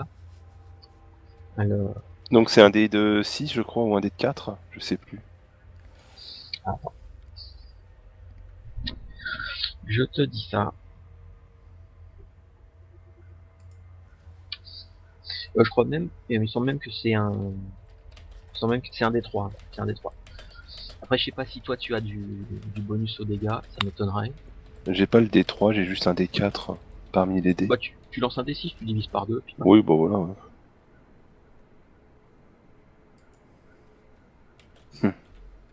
Bon, ok, tu viens, tu viens de lui coller un, tu viens de lui en coller, euh, tu viens de lui coller un pain. Euh, bon, ça l'a juste euh, distrait plus qu'autre chose. Euh, par contre, il attrape, du coup, il recule, mais il attrape, il attrape Delia. en fait, il lui a tiré, il a tiré par le bras et, et il vous fait le, le prochain, le prochain d'entre vous qui, s'a- qui s'approche encore de chez moi je peux vous assurer que le que je l'accueillerai à coup de fusil. Et euh, il se tourne vers le vers Delia et et, euh, et toi tu toi tu rentres tout de suite. on va avoir une discussion. Et il commence à traîner. euh, il commence à traîner le Delia vers la sortie de la du salon de thé alors que tout le monde est complètement abasourdi tout autour de vous. Et la police arrive ou pas? Bah, le problème, c'est que la police, euh, si elle est pas tout de suite, tout de suite à côté, elle risque de mettre un petit peu de temps pour l'instant. Euh, là, il y a juste Henri qui est euh, au sol, euh, en train de voir euh, 36 chandelles. Euh, Qu'est-ce que vous faites? Là, euh, Peter est en train de, il sort du, du salon de thé entraînant Delia derrière lui. Moi, j'attends la police pour euh, aller accompagner par la police euh, euh, chez Peter et Delia pour euh, pour euh, pour euh, pas qu'ils puissent la tuer quoi. Ok. Henri, tu fais quoi euh, quand tu reprends un peu ton, Ah, il essaye de me relever, quoi, euh, doucement, quoi. Euh, euh, je pense qu'avec mon état, là, je pense que je dois avoir des côtes cassées, euh, des choses comme ça, quoi, parce que... Je peux Ouais. te sculpter si tu veux? Ah ben, je veux bien, je m'assieds euh, avec, euh, avec douleur sur un siège. Mm. Bon, Ouais. Ouais, tu fais un test de médecine? j'étais Ouais, pas- fais pas. Non, test pris par c'est pas la surprise. peine. Tu fais. euh, C'est euh, voilà, tu tu vas avoir le tu- le temps que la police arrive, tu vas avoir le temps de, de regarder un peu ce qu'il a. Euh, en fait, c'est alors t'as pas de côte, t'as pas de côte euh, cassée, mais euh, par contre, il, il t'a collé un méchant, vraiment un méchant coup de poing dans le dans l'estomac, euh, l'estomac et le foie. Donc t'es, ouais, tu te sens vraiment pas bien.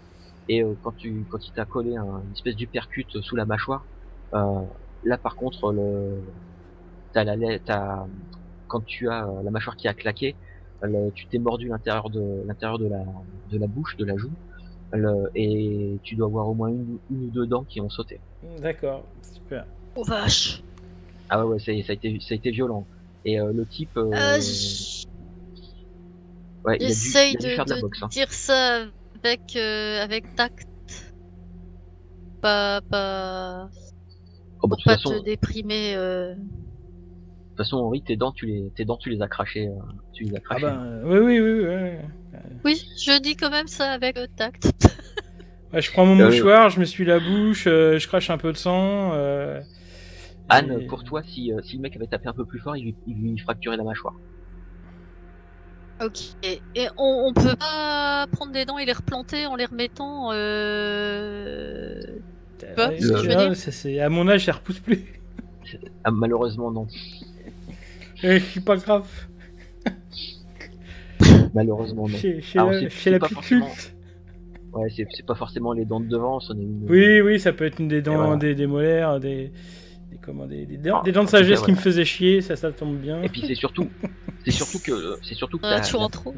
et en plus la, la grosse grosse blessure, c'est surtout que le, tu t'es mais vraiment euh, tu t'es vraiment méchamment mordu l'intérieur de la joue quoi. C'est euh, D'accord. t'as- en quelques minutes, t'as la, t'as la joue qui est complètement enflée, t'as as craché du sang et tout ça. D'ailleurs, on est venu t'apporter euh, de quoi te nettoyer. Euh, Euh, ouais, si j'ai ma trousse, euh, je peux lui faire euh, des points de suture. alors tu, ouais, c'est euh, bah, c'est surtout pour nettoyer, désinfecter tout ça. Euh, après, ouais, effectivement, c'est euh, ça, il a tellement mordu qu'il y a peut-être Est-ce que, est-ce De- que ça demande, euh, est-ce que ça demande d'aller à l'hôpital tout ça? Alors Non, pas- mais ça va, je suis non, médecin. forcément. ça, ça va, je, je peux, je peux, je peux pas t'anesthésier et tu vas, tu vas me recoudre son anesthésie, c'est ça? Mais j'ai ce qu'il faut dans ma trousse. euh, Ah, D'accord, ok. Bon bah écoute, En hein, tout cas- je, fais, je, fais, je te fais confiance. Ouais. En tout cas, la police finit par, euh, par arriver à peine, euh, à peine deux minutes après que euh, Peter et Delia soient partis euh, pour prendre un peu, pour essayer de savoir un peu ce qui se passe.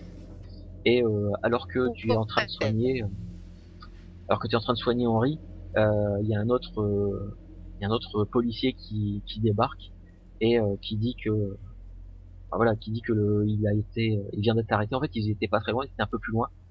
Ils étaient dans une ruelle sur le côté. Et ils ont été il a été arrêté. euh, malheureusement, il a frappé le, à plusieurs reprises le, le- la femme. Et donc, euh, par contre, il, il aimerait bien avoir une déposition parce que apparemment tout a tout a démarré d'ici. Euh, et, euh, Ouais, et moi je veux il bien faire un certificat de, de coups sur euh, pour rater les, la gravité des coups de Henri et de Emma, et de Célia, D'accord. les coups qu'ils ont reçus. Oh, puis moi je porte plainte. hein. Ok, bon, c'est pas de pas de souci. Euh, bah du coup, ça va tout ça, ça va vous prendre euh, tout le, quasiment euh, jusqu'en milieu d'après-midi. Ah oui, Le surtout temps. que moi j'escadélia les, les, les ressources qu'elle peut avoir. euh, J'imagine il doit bien y avoir un foyer de femmes euh, à Londres Ouais. dans Alors le lequel elle peut aller pour se Ouais. réfugier.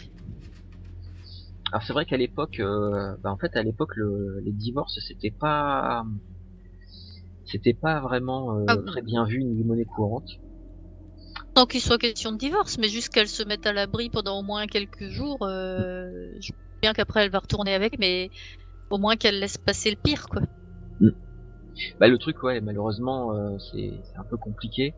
Euh, elle elle a pas de, tu comprends assez rapidement qu'elle a pas de, elle a pas d'emploi, euh, que lui il est interdit de travailler de toute façon, que c'est lui l'homme de la maison donc c'est lui qui ramène euh, qui ramène l'argent, sauf qu'il est au chômage depuis plusieurs mois. Et que euh, c'est pas la première fois en fait que qu'il est violent avec elle. Euh, malheureusement. Euh, mais que bah, elle a jamais osé aller porter plainte voilà. et que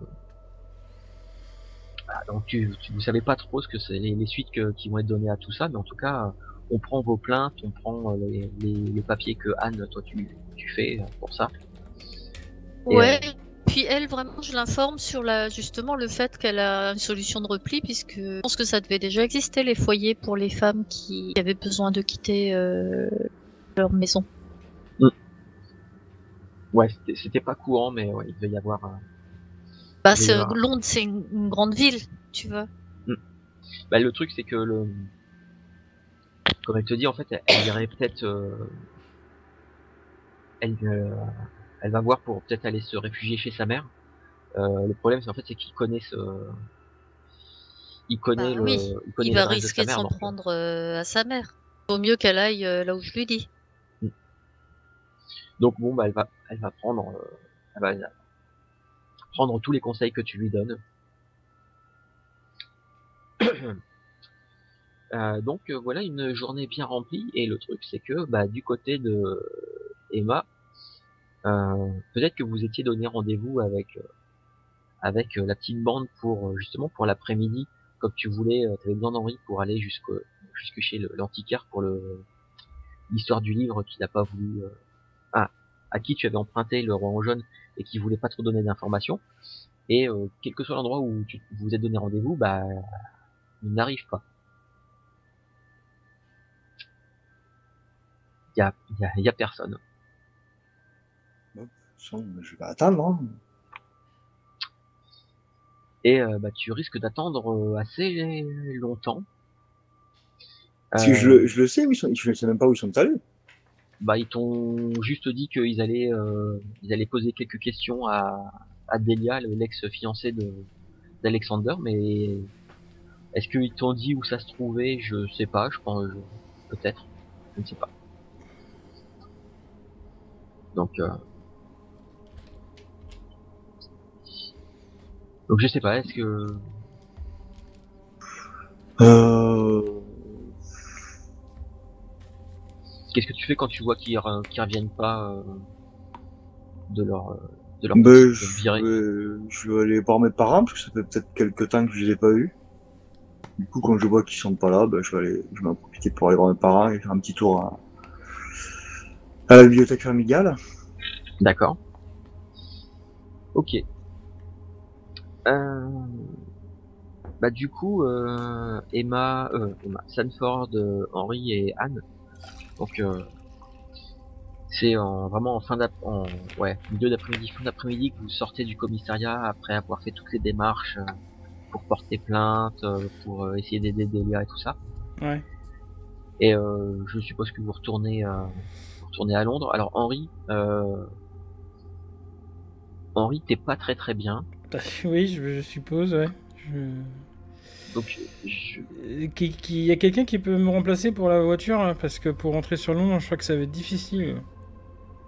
Euh, J'ai encore un peu la euh, en flèche. Puis que je, je pense que Anne a dû te donner des espèces d'an- des antidouleurs, mais euh, du coup, Ouais, mais ça va me shooter et c'est- je, enfin voilà, c'est. Je préfère euh, donner les clés de voiture à quelqu'un d'autre. hein. je crois que je crois que Anne, tu Anne, sais, tu sais conduire hein il me semble, hein. Anne je sais, je sais plus. Moi, en conduite, j'ai le plus bas possible, hein, donc. euh, Ah mais ça, ça veut rien dire en fait. euh, ton, ton, pourcent- ton pourcentage de conduite, il est au cas où euh, tu fais des courses poursuites ou des choses comme ça en fait. Ok. C'est pour éviter les obstacles. euh, Donc tant qu'on n'est pas en Voilà, fait, dès que ça devient sportif, quoi. Dès que ça vient sportif, tu utilises les compétences, mais sinon, euh, voilà. Non, mais il me semble, il me On semble considère Anne- qu'on sait tous conduire, quoi. Ouais. mais il me semble que Anne en plus m'avait précisé que que justement elle savait conduire. Ok, bah écoutez, vous vous retrouvez en, en début de soirée euh, sur Londres. Euh, Si ça vous dérange pas, moi je, je vais faire canapé ce soir. Je vais rentrer chez moi et puis euh... et puis je vais me reposer là. Moi, de toute façon, je vais passer euh, chercher Jean euh, avec un, voilà, un très beau, euh, un très beau pantalon veste, très beau Mhm. costume. Euh, et puis après, voilà, je vais retrouver euh, mes amis avec euh, Jean euh, pour juste boire un tout petit verre avant de, voilà, d'enchaîner après avec Jean. Ah bah tu m'excuseras Sandford, mais ton restaurant, je je vais le faire dans mon lit là. Oui, oui, mais après, le restaurant, vous n'étiez pas invité au restaurant, c'était juste boire un verre ensemble Ah ouais dans un petit bar club. Mmh. Bah ça aussi. Mais on se, fera, on se fera une petite bouffe, on en fera d'autres. Mmh. Ok. Euh, Ça marche. Euh, bon, bah écoutez, euh, je pense que à moins que vous ayez autre chose à, à faire, à voir, à dire euh, pour le reste. Euh, euh, non, on, ne t'entend plus, euh, Isaiah. Je sais pas. euh, Non, t'entends pas. Ouais, mais je les ai avalés, hein. T'es caché. Je suis pas bien, donc euh, c'est toi qui as pris la voiture, on est rentré à Londres et j'étais me coucher. Voilà. Ouais, super. Ah, je sais pas. Je sais pas ce qui se passe, comment ça se fait que t'as plus le Souci micro. Ok. micro qui marche plus. Non, la malédiction reprend, c'est pas vrai. Non. Non, pas la malédiction. Ah bah, ah, t'as vu les jets qu'on fait, sans déconner Je sais. Hein. Putain, 98 quoi. Et est-ce que tu as un micro de rechange ou pas, Isalia?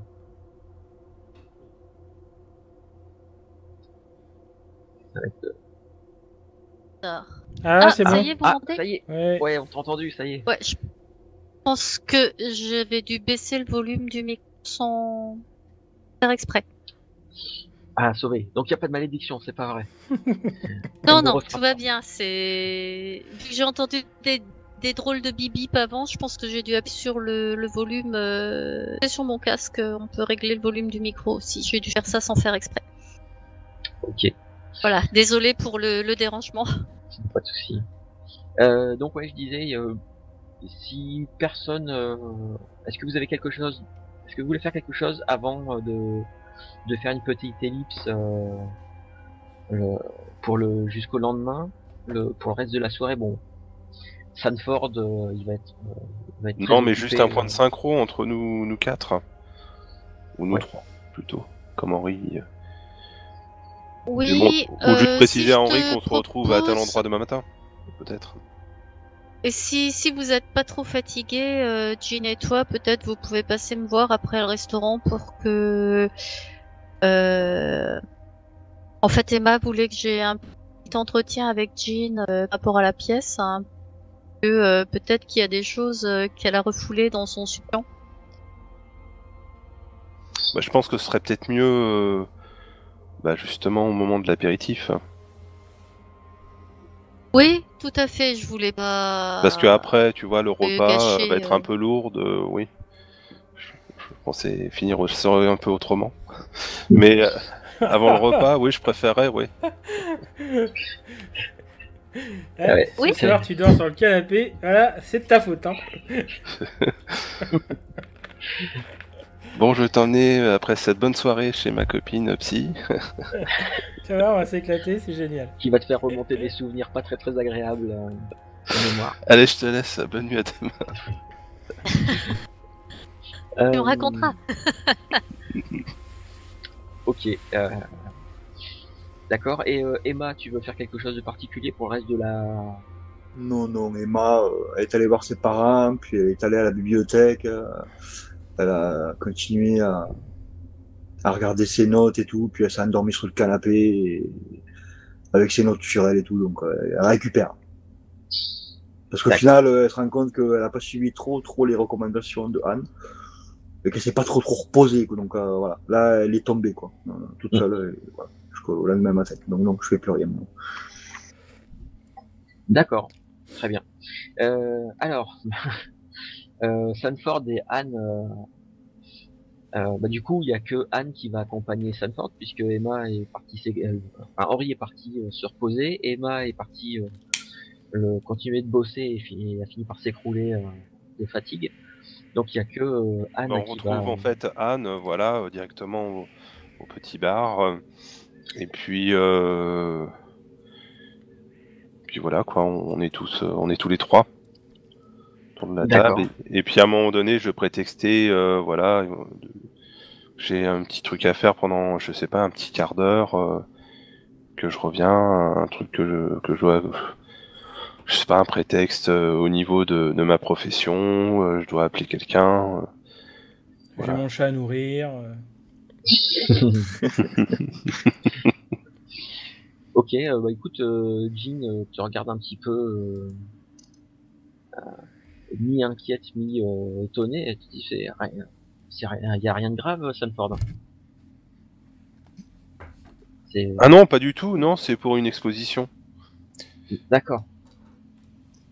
Voilà, il faut que je me synchronise avec euh, justement euh, euh, le propriétaire de la galerie et puis l'exposant. Et puis voilà quoi, pour savoir à partir de quand je pourrais commencer à exposer mes tableaux.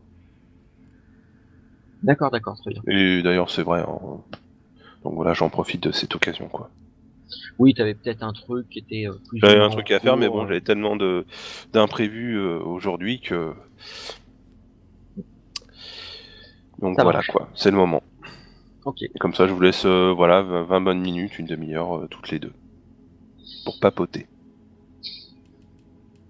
ok. Alors c'est un peu, c'est un peu bizarre pendant quelques instants au début, puisque vous retrouvez toutes les deux, euh, toutes les deux seules euh, à la table, et puis euh, Et puis le Jean commence, essaie de- d'en- de- d'engager la conversation sur euh, ah, bah, sur ton travail, euh, Anne.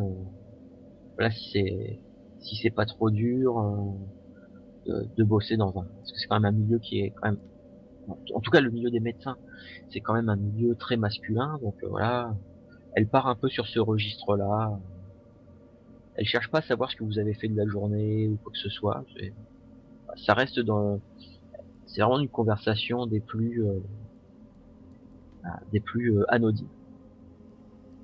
Alors j'en profite, je plonge dedans en disant que c'est difficile, mais c'est balancé par le fait que, que passionnant.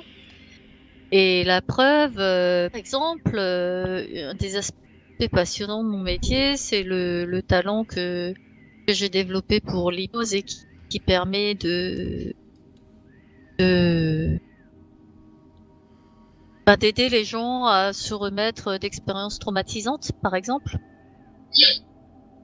Ah, ou euh, d'accéder à, à des souvenirs euh, dont ils n'ont forcément conscience. D'accord, euh, si, je, je Et- pensais pas que, je pensais pas que ça pouvait euh, être...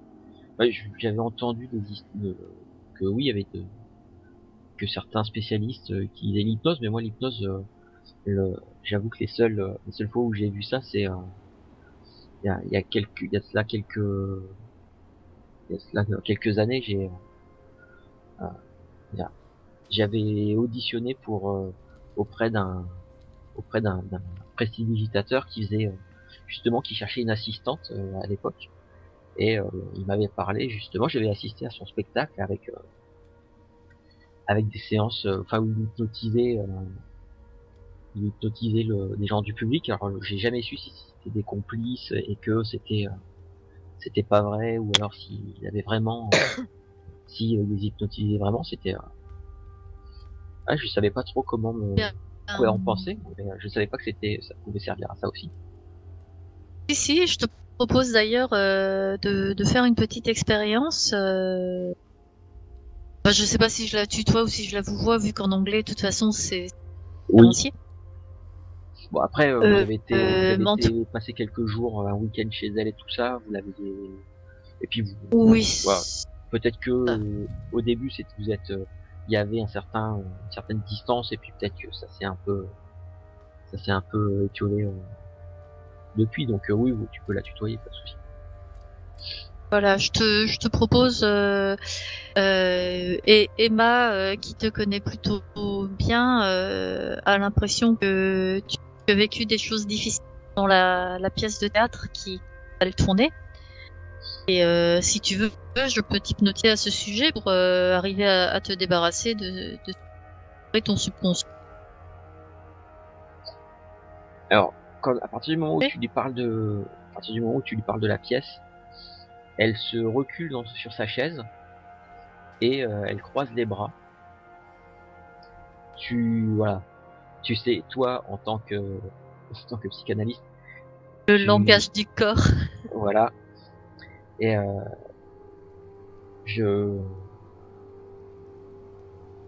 je, je, ne- je comprends pas. euh, euh, oui, la pièce n'était pas, euh, ça a été une assez mauvaise expérience, mais je, je vois pas ce que, je vois pas ce qui fait dire à Emma que euh, j'étais traumatisé par ça. euh, c'est, c'est la sœur de Sanford, d'accord, mais je, Mm. je, je ne vois pas de quel, je vois pas de quel droit elle se, de quel droit elle insinue ce genre de choses. Oh, c'est pas une insinuation, c'est qu'elle a une, une grande sensibilité. Je pense qu'elle est sincèrement inquiète pour toi. Maintenant, euh, si tu n'es pas intéressé, n'en parlons plus. Non, c'est pas c'est pas une question que je ne suis pas intéressé, c'est une question, c'est juste une question que de euh, j'aime pas quand les quand des gens que je ne connais pas si bien que ça euh, se mettent à se mettent à estimer euh, ce que ce que je devrais faire et euh, voilà, c'est et insinuer que j'ai été traumatisé, je ça va bien depuis depuis que tout ça c'est terminé. euh, voilà, euh, on a passé un bon moment avec euh, le- dans, dans ma maison de campagne. euh, quelque chose de nouveau s'est installé entre Sanford et moi, je, je n'y pense plus à tout ça. Je, je n'y pense plus. C'est, voilà, ça fait partie du passé. J'ai, c'est derrière moi, donc euh, je, et je même, j'ai pas envie que qu'on aille remuer ça. Si, même s'il y avait quelque chose de, d'enfoui au fond de moi. Euh, mais que ça y reste, que, que je ne, j'en entends plus parler et ça me, ça me va très bien. Je pense que, je pense que j'aurai une petite euh, conversation euh, avec avec Emma. Là. Je, bah, j'aime pas trop, euh, j'aime pas trop qu'on Oui, se- finisse dans mes affaires. certainement, ce sera certainement une bonne idée de mettre ça au clair avec elle. hein. Elle est sincèrement inquiète. Bah, très bien, n'en parlons plus. Très bien, très bien. Et euh, bon, euh, Change d'avis, on va Ouais. me trouver. Très bien. Bon, euh, alors le truc c'est, on l'a joué euh, là comme ça. Après, euh, je sais pas si, après, si t'avais, si si tu voulais essayer de, essayer de la convaincre d'une quelconque façon, d'appuyer un petit peu plus. voilà, c'est là ça, aurait, ça nécessiterait certainement un jet de dés, donc Tout au contraire, je, je vraiment l'air détaché de quelqu'un qui s'en fiche et qui voulait vraiment juste lui d'accord. sur l'occasion de lui rendre service que quelqu'un qui l'apprécie et se soucie d'elle euh, avait l'air un peu inquiète.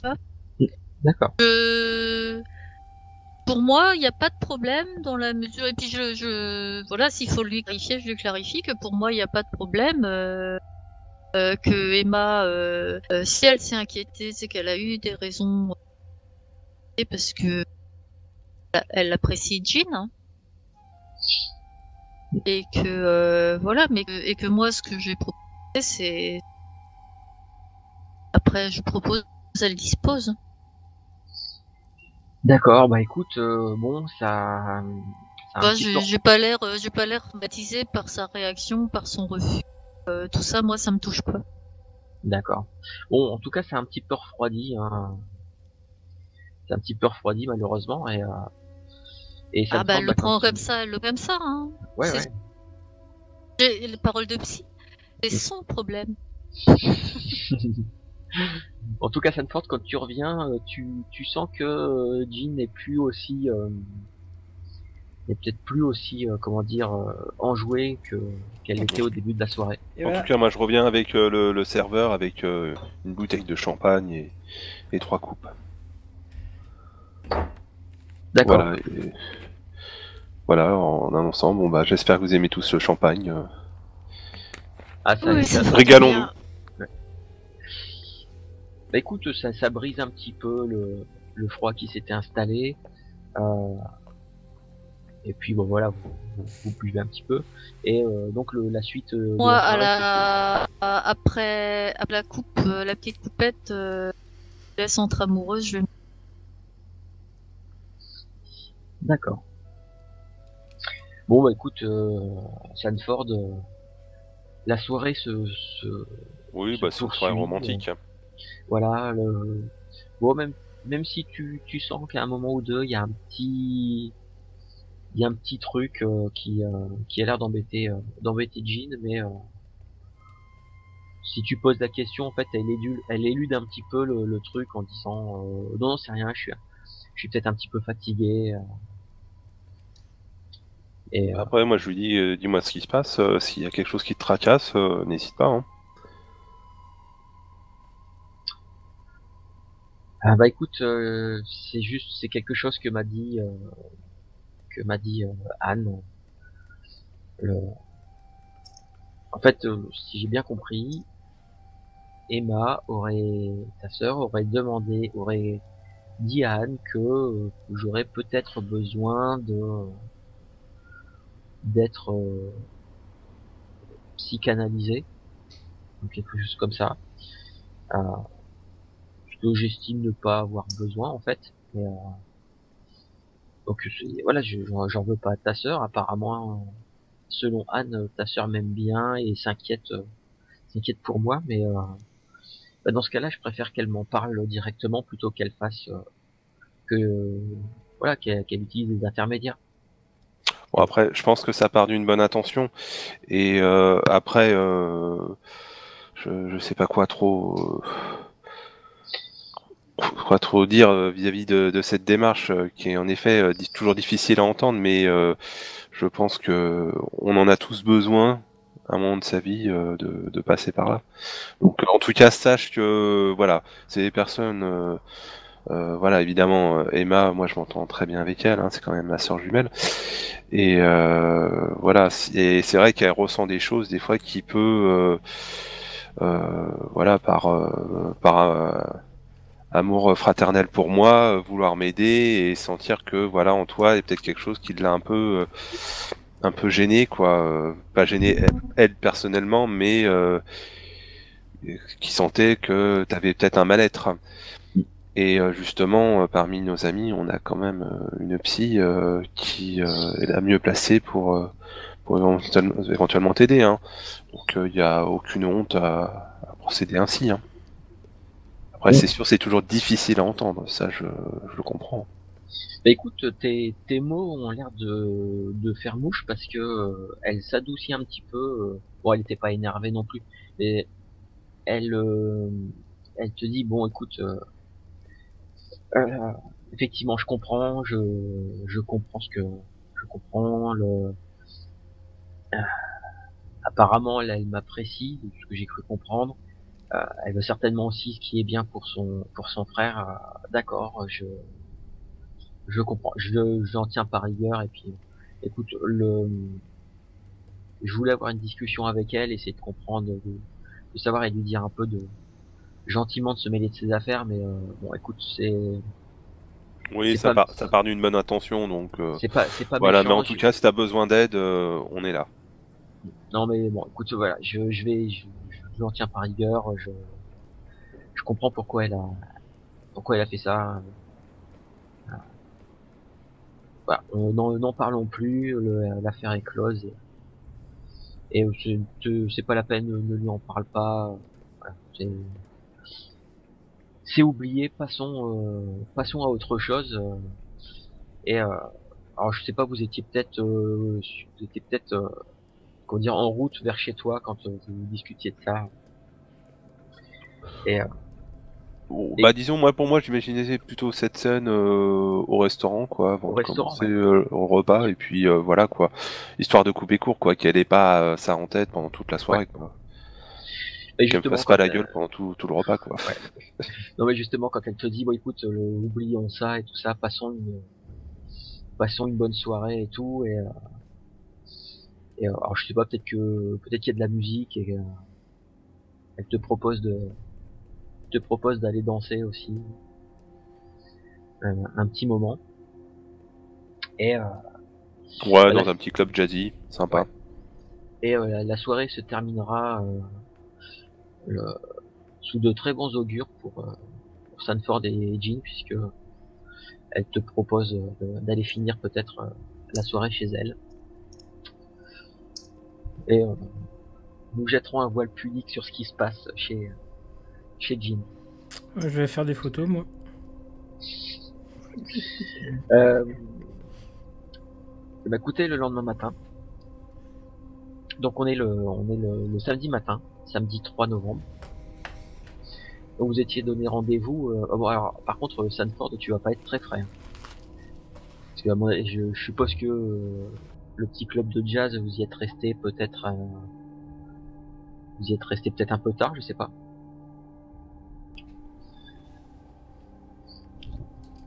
On s'est, on, on s'est endormi à 5 heures du matin pour faire court, voilà.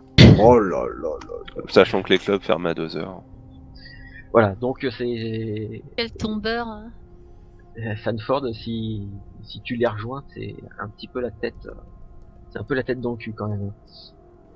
Bon, avec un bon petit déj euh, british, c'est bon quoi. Ça va requinquer. Ok. Donc, euh, bah, en ce samedi matin, euh, Anne, tu ne travailles pas. Euh, donc que que faites-vous? Vous étiez euh, devenus tous euh, rendez-vous. Alors Henri, euh, toi tu tu t'es tu t'es soigné et reposé euh, comme tu pouvais. Hein. Ouais. Donc t'es- t'as encore euh, t'as encore un peu mal euh, un peu mal au ventre, mais ça va, ça, ça se passe. Euh, tu euh, par contre t'as la mâchoire qui te fait qui te fait quand même sacrément qui te fait quand même sacrément mal. Euh, bah euh, Sanford, tu euh, un jet de constit, c'est euh, est-ce que tu penses que t'as beaucoup picolé ou c'est surtout pour voir à, quel point t'es fatigué euh, pour le... Les deux. Les deux. Ouais, bon écoute, ouais, vas-y, fais-moi un petit test de constit euh, juste pour rigoler. Euh... Non, ça va. Ça va, tu, tu gères. C'est certainement pas la, la, la première nuit quasiment blanche que tu passes. Donc, euh... donc ça va. Euh, donc ouais, Henri est un peu... Euh... Avec la, encore la la- mâchoire. la mâchoire un peu abîmée, quoi. Exactement. Euh... Bon, euh, le... Henri, tu peux te... Tu peux te récupérer, tu peux te remettre la moitié des points que tu as perdus. D'accord, ok. Euh, entre la nuit de sommeil, les soins que ton que t'as apporté euh, Anne, euh, voilà, t'as as pu récupérer le- la moitié de ce que tu as perdu. Et donc, euh, bah, au petit matin, ah juste une petite précision, euh, Emma, Emma, euh, toi tu as, euh, en fait, t'as t'as t'as dormi, t'as bien dormi, mais c'est vrai que t'as as fait quelques t'as fait quelques rêves où tu as mélangé le bah, tout ce qui t'a un peu choqué là ces derniers jours, notamment ce que t'as t'as tout mélangé entre un rêve avec où il y avait un cercle de pierre où où euh, il y avait euh, enfin voilà où il y avait un ciel étoilé tout ça. T'as un peu fait une espèce de, mélange de tout ça. Euh, et euh, ce qui fait qu'au petit au petit matin quand tu te réveilles euh, ouais tu t'es reposé mais pas pas autant que pas autant que si t'avais fait vraiment une, bonne nuit de sommeil. Ça te ça te pèse un petit peu euh, euh, toutes les recherches que tu as fait dernièrement. En plus tu avais consulté des bouquins le 4 euh, à Quadrigan euh, un bouquin avec des gravures qui étaient pas spécialement euh, ragoûtantes donc euh, voilà. J'ai Un- des poches sous les yeux, quoi. Ouais, ouais, un petit peu. Et je, bah, vous vous, vous êtes donné rendez-vous où? Dans chez l'un d'entre vous ou... Euh... On, on peut aller, on peut aller chez moi si, si, si on veut. On peut aller chez Sanford. Je crois qu'on était, euh, à chaque fois, on a été chez Sanford, non? Euh, Vous êtes allé plusieurs fois chez Sanford, exactement. Hein? Bah, du coup, ce sera peut-être meilleur- enfin, ce sera peut-être plus simple. Ouais, moi, j'ai- de toute façon, j'ai passé euh, la. Enfin, après, moi, j'ai passé la soirée chez Jean, et puis je suis reparti euh, tôt le matin, donc on peut se retrouver chez moi, ouais, sur les coups de, de 10 heures. Ça marche. Ok. bah, petit matin, vous êtes tous euh, chez Sanford. Euh, bon. Emma euh, qui a l'air d'être euh, un petit peu fatiguée. euh, Ah ouais, moi je suis, je suis assis dans un coin, moi, sur le canapé ou je sais pas quoi, et euh, vous m'entendez euh, marmonner euh, Carcosa, Carcosa, Carcosa. Je suis perdu dans mes pensées et j'arrête pas de, de marmonner Carcosa, Carcosa. Ah, et surtout, Emma, toi, tu n'as toutes tes recherches, euh, toutes tes dernières recherches, euh, pour l'instant, tu les as pas, tu les as pas revues, hein, donc t'as t'as pas encore, euh, t'as pas, tu leur en as pas encore parlé de tout ça. Euh, Donc, euh, Eric, est-ce que tu peux me rappeler le- l'endroit dans le seul folk euh, en décembre 25 où il devait se rendre? J'ai j'ai pas, j'ai j'ai zappé le nom. oui, dans la, le- apparemment, dans un petit village qui s'appelle Claire Melford. Je vais te noter ça dans le, le chat. Ok. J'écris pas n'importe quoi. Hop. Claire. Dans le Suffolk. D'accord, ok. Suffolk, j'ai noté. Bah, je vous laisse euh, voir gérer euh, vos, toutes vos informations. Ouais, j'ai évité de parler. Hein. Ça me fait mal quand je parle. Ah oui, c'est vrai, en plus, euh, Emma, tu sais, T'as, t'as- Euh, oui, tu t'as, sais- tu sais même, tu Ah. sais, tu sais même pas ce qui s'est passé puisque Ouais, bon- bonjour euh, Emma. Euh, oui, en fait, euh, on a eu une petite altercation suite à, à la visite euh, rendue chez euh, Delia. Euh, voilà, qui apparemment a refait sa vie, euh, enfin qui refait sa vie avec un autre homme. Et euh, donc du coup, on l'a retrouvée un peu plus loin dans un salon de thé. Et elle nous a fait part justement de sa rencontre avec Alexander Roby et notamment certaines personnes qui, qui à l'époque. voilà, toujours cet homme avec une barbe grise, qui est donc Monsieur Monsieur Bacon, Monsieur un certain euh, Monsieur Malcolm Quarry, qui est aussi écrivain apparemment, qui rédige des livres, euh, certains livres sur euh, sur des mythes de Grande-Bretagne.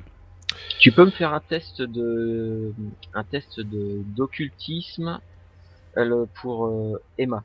Un petit test d'occultisme ou euh, occultisme ou bibliothèque. Euh, j'ai le choix parce que Euh, T'as une grosse différence de ah bah oui oui carrément oui une grosse différence oui. Donc c'est pour ça que je demande hein, parce que Ok, euh, bah écoute, euh... bah, fais-moi un... fais-moi un test de, tu fais un test de bibliothèque et par suivant le, le résultat, si je te dirai, un... Ok. je rajouterai un petit truc. Tu peux utiliser point de chance. Tu peux utiliser point de chance. C'est le moteur de mais- Roll20. 8 points de chance, ça va. Ouais, ça ferait que, ouais, c'est 8 points de chance si tu veux en dépenser. euh, 8 en sachant que j'en ai euh, Tu peux peut-être essayer sinon. Euh, Donc euh, ouais, en fait, euh, comme je disais, le nom de Malcolm Quarry, ça te dit quelque chose, euh, Emma? Ça te rappelle un bouquin que tu as lu il y a pas si longtemps que ça, qui s'appelait Les dieux anglais, la religion et les mythes dans les royaumes occidentaux de la Bretagne anglo-saxonne. Alors là, je t'ai sorti le titre exact du bouquin, mais euh, voilà, dans ta tête, il te semble que c'est un truc, euh, t'as plus ou moins la moitié du titre. Et c'est un bouquin qui, c'est un bouquin apparemment qui a été publié, tu te souviens, c'est sorti il y a pas si longtemps que ça, en, en 24 ou 25. Et euh, de ce que tu avais, euh, de ce que tu avais, tu l'as feuilleté, tu l'as peut-être même euh, lu en partie. Euh, en gros, c'est un bouquin qui parle des, des divinités euh, celtes, romaines, même sumériennes, et d'autres et d'autres cultes en fait qui ont été qui ont été vénérés en Grande-Bretagne. Et ça allait à peu près de d'un siècle avant Jésus-Christ jusqu'à euh, jusque 650 euh, à peu près. euh. Donc euh, en gros ça, allait quasiment, enfin ça allait jusqu'à au moment où les Romains ont quitté la Grande-Bretagne et, un petit peu aussi un petit peu après. Tu te souviens vaguement de ce truc-là. Après, vu que tu as fait tu as fait une réussite, si tu avais fait une meilleure réussite, tu te serais souvenu de détails un peu plus euh, un peu plus précis. Maintenant, tu, je vais te demander un, un jet de chance. On sait jamais. Est-ce que tu l'as en- Est-ce que tu as ce bouquin-là? Est-ce que tu l'as dans la bibliothèque de tes parents? Peut-être.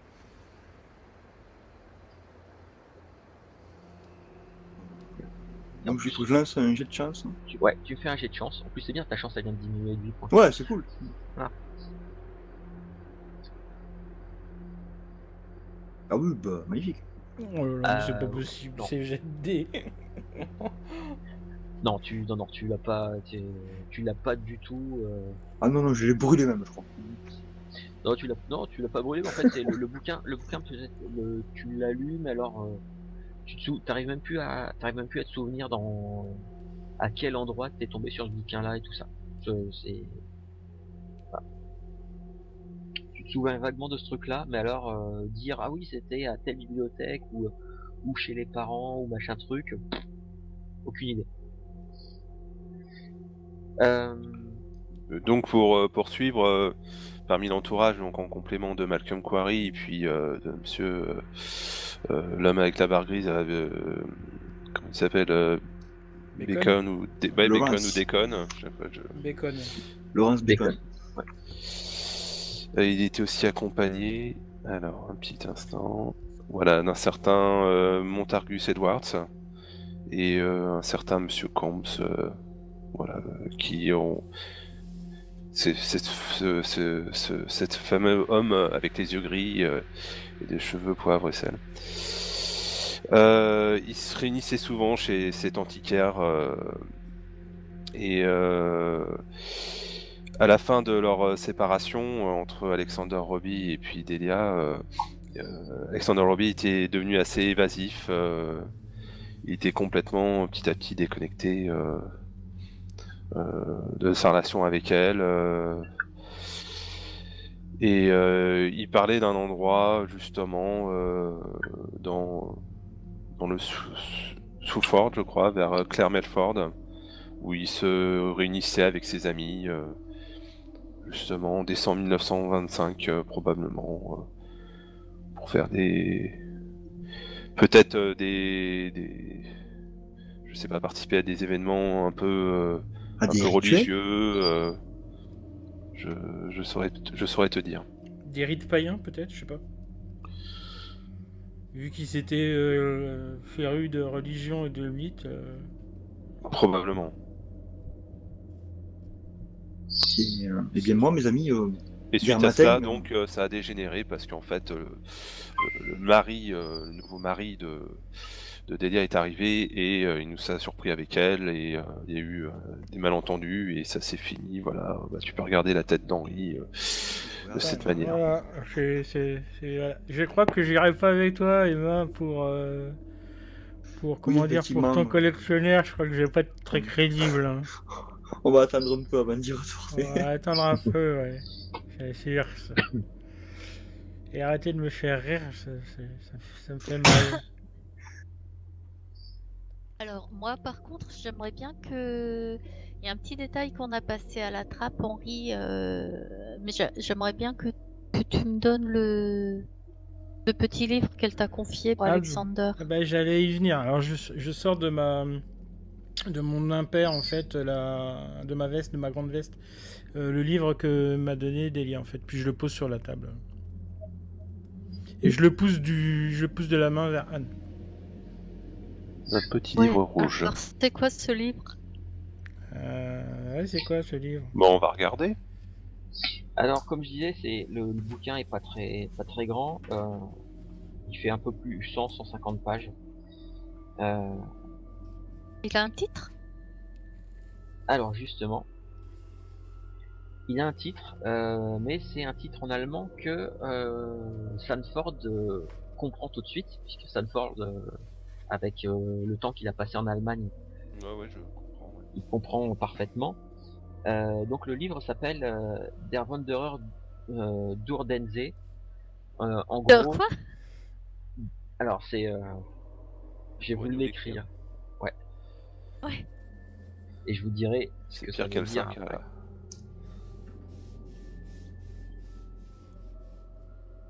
Voilà. Der Wanderer d'Urdense. Euh, et Sanford, tu sais, euh, tu sais ce que ça, tu sais ce que ça veut dire. En fait, c'est le passant sur le lac. D'accord. Et le truc, c'est, alors à l'intérieur, c'est écrit, il y a du, de l'anglais, mais il y a aussi des portions qui sont en allemand apparemment du bouquin.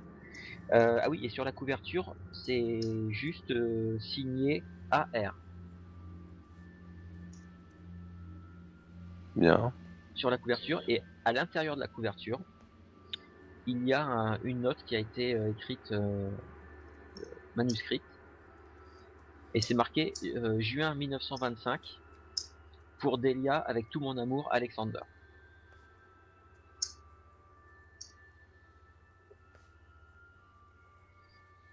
Faudrait combien de temps pour lire le livre? Ouais, euh, Tu penses que le ouais peut-être euh, en plus toi, oui, toi tu parles tu parles allemand donc ça devrait pas poser trop de problèmes. Ouais, euh, peut-être euh, deux petites heures ça devrait suffire. Parce que le livre est, est en allemand, c'est ça? Alors pas tout. En partie. Il y a une partie, ouais. Il y a une partie du texte Et en, allemand et une partie du texte en, en anglais. C'est un On livre part- imprimé ou écrit à la main? C'est imprimé. Il y a eu, il y a même une, il y a même un éditeur, une maison d'édition, euh, Whitehall Press. Et du coup, l'auteur, c'est Alexander B. Bah c'est juste signé AR, donc euh, vous en faites les conclusions que vous voulez.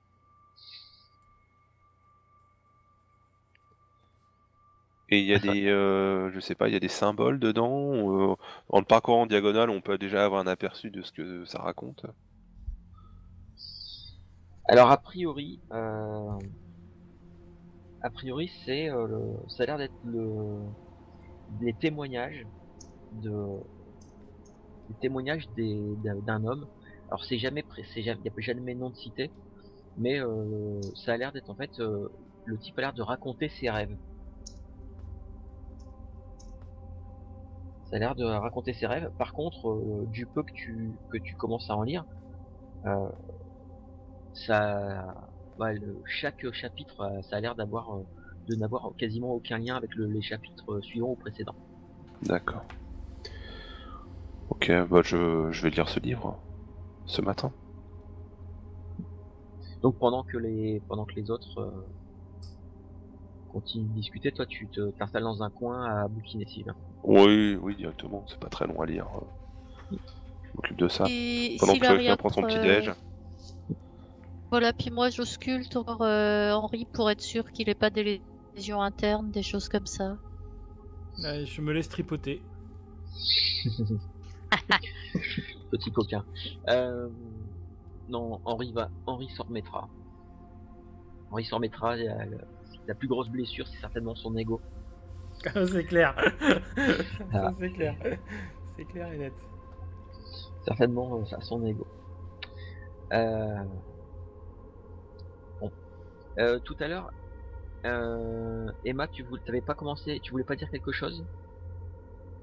Si, si, je voulais juste raconter ce que moi j'avais fait la veille, euh, le matin, quoi. J'avais, euh, j'avais continué à mes recherches donc sur les, fameuses traductions là, et j'ai découvert une chose de plus euh, à rajouter euh, dans notre énigme, c'est qu'en fait le rituel euh, ferait apparaître une porte qui mènerait à Carcosa.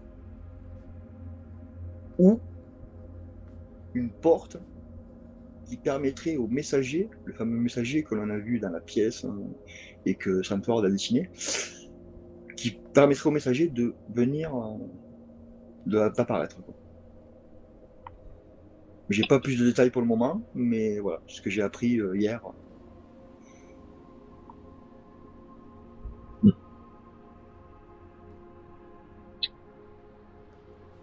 euh...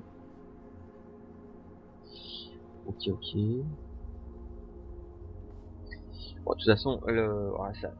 Alors le truc c'est que ça va pas, le fait de, de- d'expliquer tout ça, de raconter tout ça, je pense que ça sera pas suffisant pour que Sanford lise tout le bouquin, donc je sais pas si vous voulez euh, aborder d'autres choses. euh.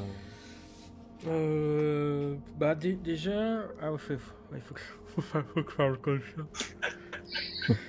Euh, euh, déjà, euh, c'est sûr, euh, on, sait maintenant qu'on a euh, que les deux histoires euh, n'en forment plus qu'une. Il y a des relations entre entre le, le, comment le théâtre, ce qu'on a vu au théâtre, et puis euh, l'histoire des meurtres. On est sûr et certain que c'est ça. Enfin, qu'il y a une relation. On sait pas. euh, on- sait aussi qu'on a un, personnage euh, qui revient incessamment, euh, enfin qui, qui vient généralement tout le temps. Euh, c'est euh, et qui a un rel- une- on va dire une relation avec euh, avec le avec les meurtres, c'est le, le- le fameux euh, le fameux infirmier qu'on a vu sur les photos. Edwards. Le- Alors, un, un coup, il se fait appeler Montaigu Edwards, et de l'autre côté, il se fait appeler Evan Edwards. Donc, euh, l'infirmier, euh, moi, j'aimerais bien mettre une petite surveillance sur ce gars-là, quoi. Euh, on a son adresse. Euh, ouais, on a son adresse. On a son adresse. Euh, ap- après, j'aimerais aussi. euh, mais là, je peux pas faire tout, tout, tout- tout- Enfin, je peux pas le faire tout seul, hein, mais mais faire quelques aussi mises en point avec l'antiquaire. Par exemple, aller voir où il est, essayer de voir un petit peu, faire un peu de ce qu'on appelle euh, dans le jargon euh, du repérage, quoi, en gros. quoi.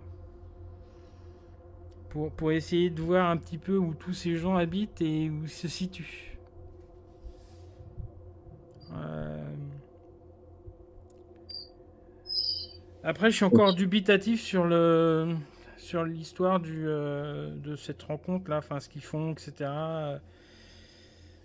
Euh, D'après Delia, de toute façon, euh, son mari, enfin elle nous a dit qu'Alexander avait beaucoup changé depuis qu'ils avaient rencontré ces groupes de personnes. Qu'est-ce qu'il trafiquait, quoi? Qu'est-ce qu'il faisait? Euh, moi, je enfin, il y a peut-être un point commun à, tout ça, c'est que euh, rappelle-toi Henri quand quand Anne hypnotisait euh, Sanford, je t'ai dit une chose, je t'ai dit que le rituel, il était à une certaine période de l'année. Oui, oui, oui. Alors, Euh, Alexander, Alexander Robbie, j'avoue, j'ai pas très il bien s'énerve euh, au même moment, à la même période. Ouais. Ouais, tu Et- nous avais parlé de ça, ouais, des constellations, tout ça. Et, Ouais, et les la constellation du taureau, elle apparaît aussi hein, à la même période. Ah, hein. Moi, la question que je me posais, Et, et, et en Ok. plus, tu avais parlé de l'étoile rouge qui est l'œil du taureau qui transporterait Carcosa. et la question que je me posais, c'est euh, à quelle période le père et la fille d'Alexander sont morts? Euh, ça, on le sait. Hein. Bah justement, moi j'ai plus mes notes de l'année dernière, donc je le sais pas. Euh, Donc si tu peux me le rappeler, Henri, comme ça, oui, euh, attends, je, je regarde. Ça pourrait faire un quatrième point commun euh, à tout ça. Ça doit être dans les premières notes que j'ai dû prendre. Nanana, nanana.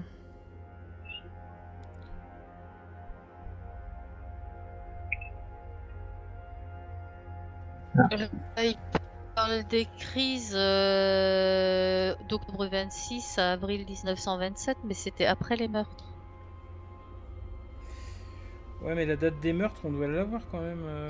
La date des meurtres, Euh, On, je- on doit l'avoir, mais je l'ai noté. Attends, c'est- séance 3, c'est peut-être avant. c'était le, Euh, c'était en le, c'était le 14 octobre 1926.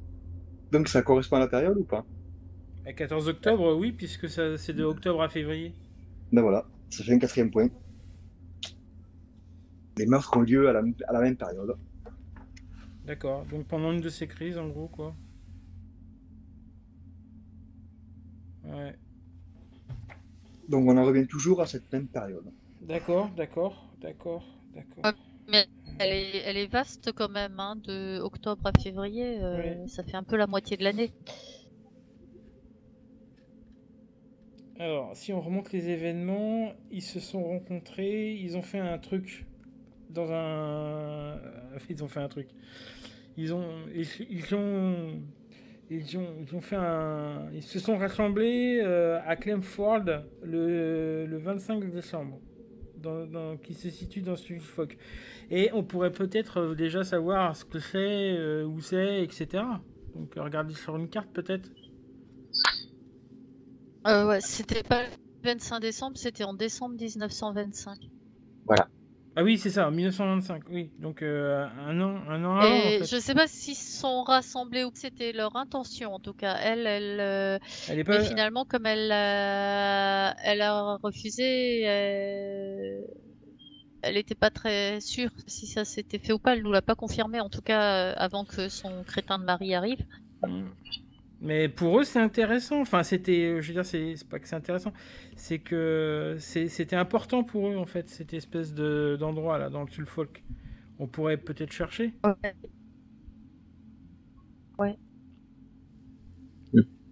Alors, euh, en regardant sur une carte, le, le petit village, euh, c'est vraiment, ça a l'air d'être un petit hameau, Claire Melford, dans le Suffolk. Ça se trouve, euh, ça se trouve au nord-est de Londres, à peu près 60 km, à une vingtaine de kilomètres de Cambridge. Et c'est paumé dans la campagne anglaise.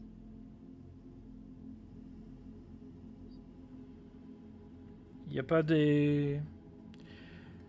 Ouais, non, ouais. non.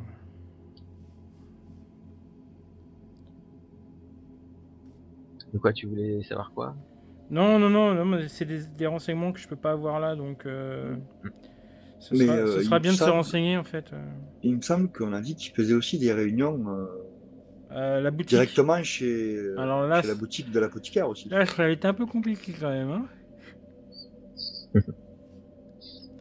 Moi, je veux bien faire euh, du repérage et puis de faire euh, des. euh, on va dire. Ouais, de, de- de- de- Pas, pas tant que tu es dans cet état. Non, ça c'est sûr. Mais on peut se poser, on peut se poser euh, devant, devant la boutique et voir qui c'est qui sort, qui c'est qui rentre. hein. Écoute, il a l'air euh, dangereux cet antiquaire, d'après témoignage de Tuc, même si coup de crédit. À mon avis, il, il va être collé, mais euh, ce qui est sûr en tout cas, c'est que cet homme fait extrêmement peur à Tuc, qui avait quand même l'air d'être pas forcément un enfant de cœur. Donc, euh, c'est pas très prudent.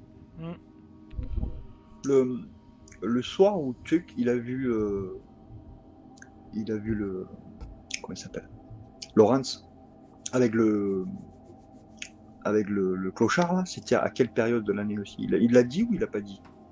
Hmm, non, je crois pas. Il a pas dit. Il a juste qu'il avait dit qu'il avait vu un soir et puis c'est tout. Ouais, alors ça, l'information, ça, il l'a- il l'avait noté parce que, pour le coup, s'il y avait bien quelque chose qu'on ne pouvait pas lui reprocher à, à Tuck, c'était de, c'était de noter, euh, Je regarde dans le dossier, ouais. les trucs. Ouais. Ouais, ouais, tu regardes, euh, tu regardes dans le dossier. Euh, non, c'était, euh, c'était, euh, il a fait ça. euh, en gros, par rapport à ce que euh, Delia vous a dit, euh, elle, elle a rencontré, euh, quand elle a rencontré Alexander, au début, ça allait en 24, ça allait très bien, et c'est à partir de 25 où, quand il a commencé à rencontrer euh, ce petit groupe, où ça commençait à devenir de plus en plus euh, étrange, que que Tuck euh, a surveillé tout ça. Le truc c'est que quand quand Tuck a, a enquêté sur sur ces gens-là, c'était app- apparemment ça correspond à la fin de la relation entre euh, Delia et Alexander. Hmm, D'accord. Et Alexander et Delia se Donc, Ouais, on- tu voulais dire truc moi j'avais noté qu'il avait suivi Alexander trois semaines euh, euh, fin 1925, commençant début octobre, donc durant le mois d'octobre 1925. Du coup, c'est à peu près à ce moment-là que ça a dû arriver. Voilà, exactement. En fait, c'est euh, c'est à la fin, de- c'est- une des dernières filatures qu'il a fait sur ce sur euh, sur cette enquête-là. C'était euh, c'était justement cette histoire avec euh, Bacon et le, et le clochard. En tout cas, ça, Est-ce que- les éléments se suivent, hein, en tout cas. Est-ce que je sais, moi, euh, quand je me suis renseigné sur les sur les euh, constellations et tout là, quand je suis le tour du taureau, est-ce que je sais à, à- à quelle date elle est la plus, tu vois, comme un peu comme une éclipse, tu vois, à quel moment précis elle est la plus voyante Je le sais ça ou pas? Quel jour de l'année? Euh, oui, c'est bah, c'est c'est simple. Son apogée, c'est euh, à la fin du mois de décembre. D'accord. Mhm. C'est à la fin du mois de décembre son apogée. D'accord. Est-ce qu'il alors euh, Emma, est-ce que tu est-ce que comme tu es vraiment spécialiste dans les constellations, tout ça, euh, est-ce que euh, je sais que par exemple pour voir les nouvelles, euh, les lunes, les éclipses de lune, etc. Quand on est placé à un endroit bien précis, on voit mieux en fait. Est-ce que par hasard dans la constellation du, du- Taureau là, lorsqu'elle est à son apogée, on voit, il y a peut-être un endroit où on voit mieux le l'œil rouge en fait du Taureau? Non Enfin, je, je dis ça comme ça, mais j'y connais Non. pas grand chose. Moi, je peux te dire, euh, Ça a aucune importance. euh, je peux te dire son apogée. Après, euh, te dire à quel endroit ça serait le plus visible, euh, je sais pas. Non, déjà dans un endroit à la campagne où il n'y a pas de source lumineuse à proximité, quoi. Voilà, Oui. dans- dans- peut-être dans un endroit, dans le Sulfolk. À euh, la Pampa, ouais, par exemple. à, dans- à, Clerm, à, à à là. Hein Pourquoi pas Hmm. D'ailleurs, euh, sur le sur la carte que vous avez euh, regardée, euh, donc c'est comme je dis, hein, c'est vraiment dans la, la camp- paumé dans la campagne anglaise. Et euh, apparemment, à Clare-Melford, à côté en tout cas de Clare-Melford, il y a l'air d'y le c'est indiqué qu'il y a une petite euh, Un site archéologique. non pas un site archéologique, mais un, une petite euh, un petit mont, une petite co- une, une colline qui est euh, qui a l'air d'être suffisamment haute pour euh, que ce soit précisé sur le, les cartes comme un, un- une espèce de, de point de, de petits points élevés euh, topographiques. euh. On voit la- l'altitude au niveau du dénivelé. Ouais, alors ça indique que le apparemment c'est c'est un truc ça ça monte à à une centaine de mètres, euh, 150 mètres. Donc c'est pas énorme non plus, mais euh, dans une région qui est relativement plate, tout de suite euh, c'est euh, C'est voyant. Faudrait, faudrait peut-être se renseigner si dans ce coin-là, là, dans le coin que tu dis, il n'y a pas un cercle de pierre par hasard. Ah bon, pourquoi un sac de pierre Parce que dans, le, dans les traductions que j'ai faites euh, hier matin, euh, il parlait d'un cercle de pierre aussi pour, euh, pour le rituel. Ah bah, un cercle de pierre, euh, moi j'en connais un, moi. Il est assez, assez gros d'ailleurs, c'est Stonehenge. Oui, oui, oui, mais il y en a beaucoup. euh, il y en a beaucoup de cercles de pierre. Mais Ah, d'accord. Dans un endroit qui nous intéresserait, je sais pas. Euh, Bah, ce serait intéressant de savoir, hein, c'est sûr. bah oui, c'est des, intéressant de se renseigner dessus. ouais. faire des- Ouais. des- on peut faire des, des- effectivement des, on peut faire du renseignement dessus, hein, savoir. euh, euh, on peut faire, on peut, on peut essayer de chercher des, des informations sur la, sur le village. Mm. Bah, bah, ça vous fait déjà encore pas mal de petits trucs, euh, pas mal de petites euh, choses à faire. Moi, je Euh, Alors, je tenterai. euh, alors, dans, dans là d'où je viens, euh, le type avec les yeux gris, le chapeau, le- les cheveux poivre et sel, le regard euh, assez perçant, etc. On, appelle, on appelle ça chez moi un baron samedi. Alors, euh, peut-être se méfier. Je dis ça en blaguant, hein, évidemment. J'ai fait de l'humour. Mais faut Encore pas une histoire de vaudou, ça. Ah ouais, ma mère était, euh, était plongée dedans, alors... euh, Mais bon, euh, ce sera pas le cas en, en Angleterre, quand même.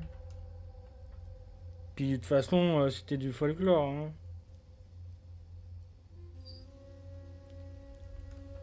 Oui, un peu comme tout ce qu'on constate ici. Euh, on est en plein folklore, effectivement, de religion, païen, des rites, euh, tout ça, c'est... Ça ressemble un peu, effectivement, à ce que j'ai vécu quand j'étais enfant, quoi. Mais... euh, Mais c'était pour faire peur aux touristes, surtout. Là, il semblerait que ça rende euh, les gens fous et que ça les, ça les mette dans un état euh, Ouais. de, de rage. Est-ce Là, on ne sait pas du tout ce qu'Alexander a fait euh, de janvier 1926 à octobre euh, 1900. Il y avait cette espèce de, de truc tout excitant euh, en décembre en 1925 et après et, et en octobre du Ouais, c'est vrai. père et c'est sa pas- sœur. C'est pas, c'est pas faux. Enfin, il les tue. Et il meurt. Voilà. De janvier à, à octobre. Qu'est-ce qu'il a fait? On sait 9 mois, on n'en sait rien. Effectivement.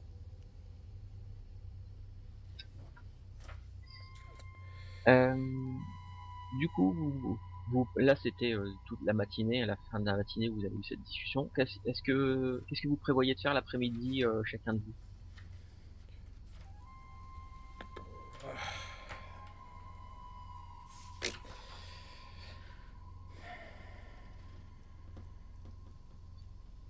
Moi, déjà, je vais voir avec Suzanne si elle a trouvé cette histoire de d'infirmier.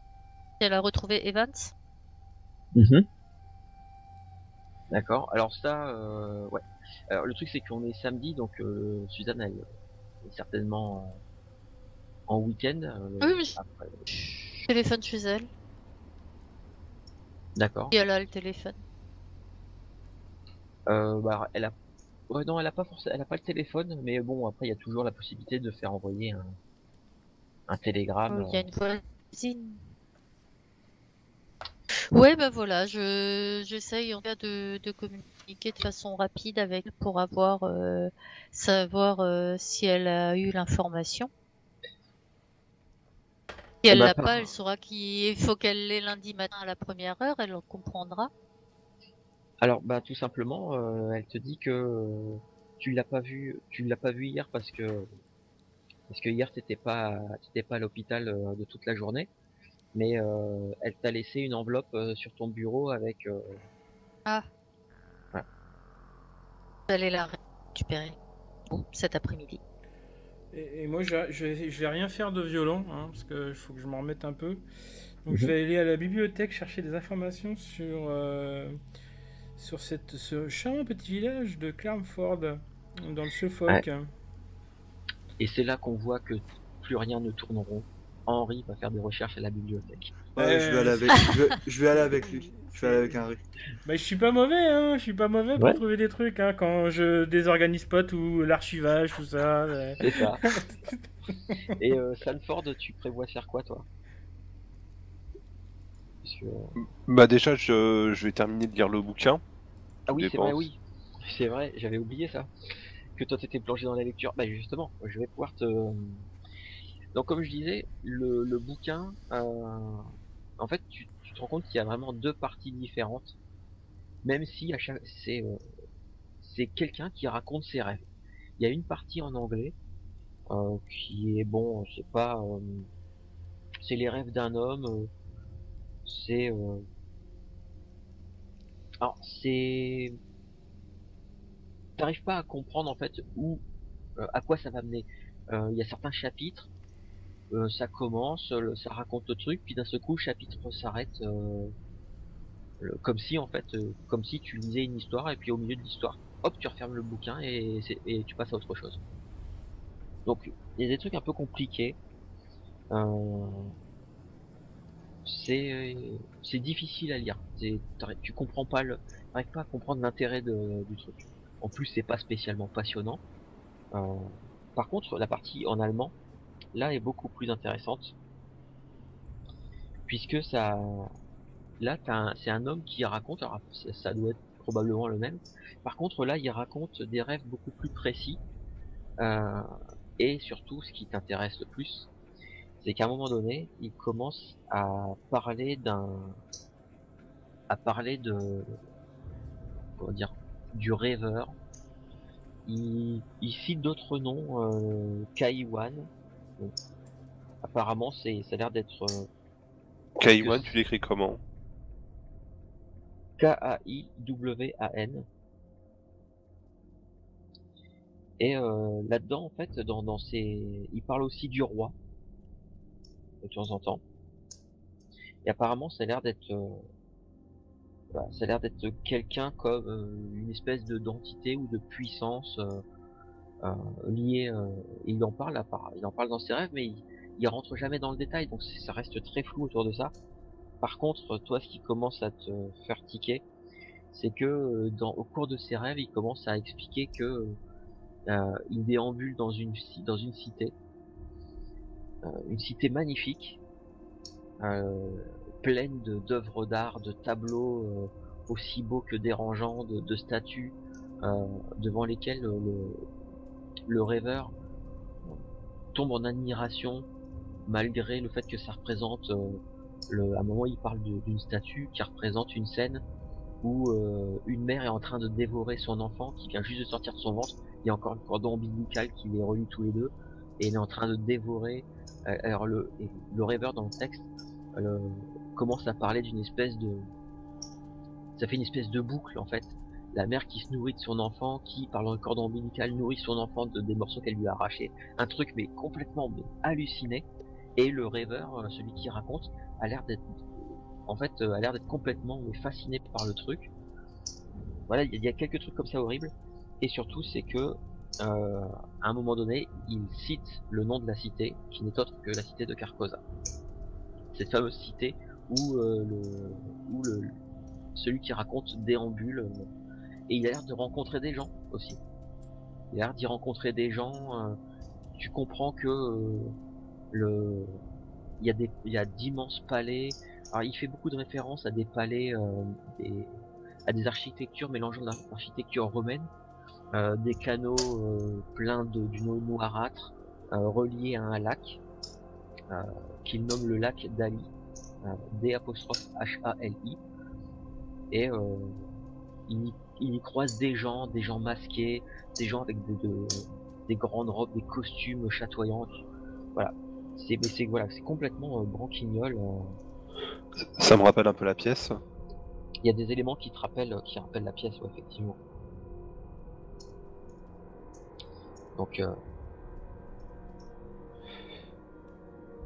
et euh, et le truc c'est que à un moment donné il y a quelque chose aussi qui te qui te fait tiquer puisque euh, apparemment le, celui qui le témoin qui raconte euh, raconte une scène d'une espèce de une espèce d'immense de, rassemblement sur une place euh, où il y a un cercle de neuf pierres.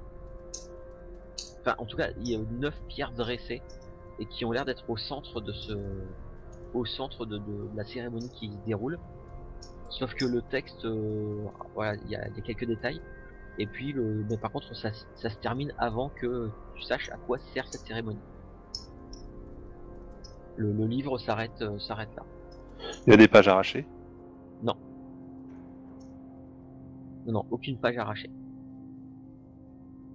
Le seul truc, le seul détail qui te concernant la cérémonie, c'est qu'apparemment, au milieu de ces pierres, alors de ce que tu comprends, les pierres ont dû être euh, disposées en forme de V. Donc euh, une pierre qui fait la pointe et euh, les huit autres pierres, quatre de chaque côté, qui forment une espèce de V. Et l'une des dernières phrases du narrateur, c'est que au milieu de ces, au milieu de ces pierres, l'air a l'air de se mettre à, onduler et commence à apparaître, il commence à apparaître le, un, paysage, un autre paysage euh, au milieu de ça. Mais c'est tout, il y a rien de plus. Eh bien, j'en fais part euh, évidemment euh, à, Emma, quoi. Bien sûr, devant les autres, hein, mais voilà, en faisant référence à Carcosa et en mettant bien en avant encore ses similitudes avec la pièce, la création de ce portail à partir de ces pierres en forme de V, euh, Tu toutes fais, un ces test choses. de, tu fais un test de santé mentale aussi Oh oui. Ah Bah oui, quand même. Mais j'en ai pas gagné la nuit dernière avec euh, Jean. Non, on gagne pas aussi facilement de la santé mentale. À savoir, euh, peut-être trop. qu'elle te rend fou. Wow, 0-1. 0-1. Bah écoute, euh, tu, tu prends ça relativement bien. Bah, je suis même fasciné parce que je me dis, euh, artistiquement, euh, ça me donne plein d'idées, quoi. Ah oui, il y avait des trucs, il y avait dans les descriptions, c'était. euh, alors si c'est bel et bien ce que vous soupçonnez Alexander Roby qui a écrit, Delia vous avez dit que il écrivait des poèmes et tout ça. Effectivement, la façon dont c'est écrit, c'est hyper évocateur. C'est extrêmement précis, c'est ça et ouais ça ça te fait vraiment avec euh, c'est hyper évocateur, ça te fait vraiment euh, comment dire des quand il décrivait certains certaines sensations ou certaines odeurs euh, qui, qui flottaient dans, dans la cité, par exemple, c'était c'était tellement bien écrit que t'étais, limite te- t'aurais pu sentir sentir cette odeur-là. C'est c'est assez impressionnant. Et, mine de rien, il- si c'est bien lui, il y avait une il avait un, un sacré niveau écriture, c'est pas mauvais. En tout cas, euh, voici le- vraiment le- la preuve du lien entre la pièce et euh, tous ces événements euh, qui, ont, qui sont interconnectés avec Alexander Robbie. Tout Ouais. est dans ce livre. On a, on a une corrélation effectivement entre euh, la pièce, euh, les meurtres.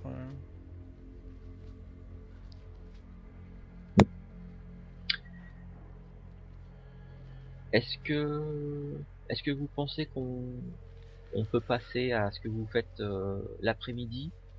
Et comme ça on terminera sur ces petits trucs euh, la session de ce soir.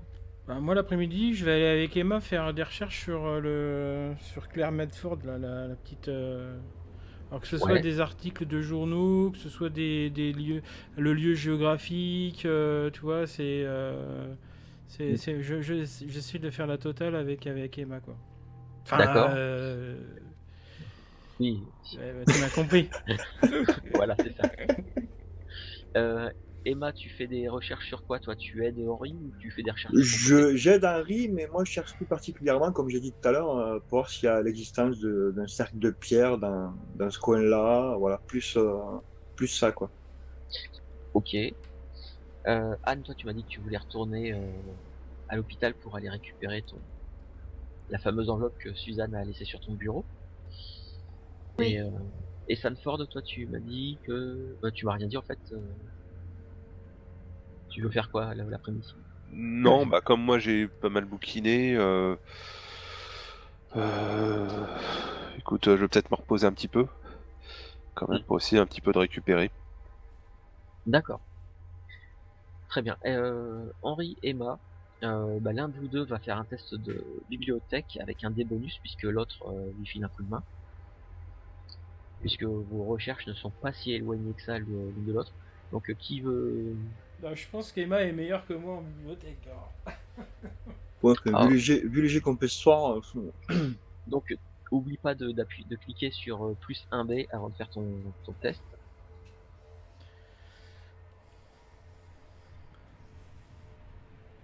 Allez, on y croit. Bah avec ça, si on trouve pas des trucs. Voilà. Impec. Alors, euh, le... vous allez trouver pas mal de renseignements sur, euh, le, petit, euh, c'est le village. C'est un hameau.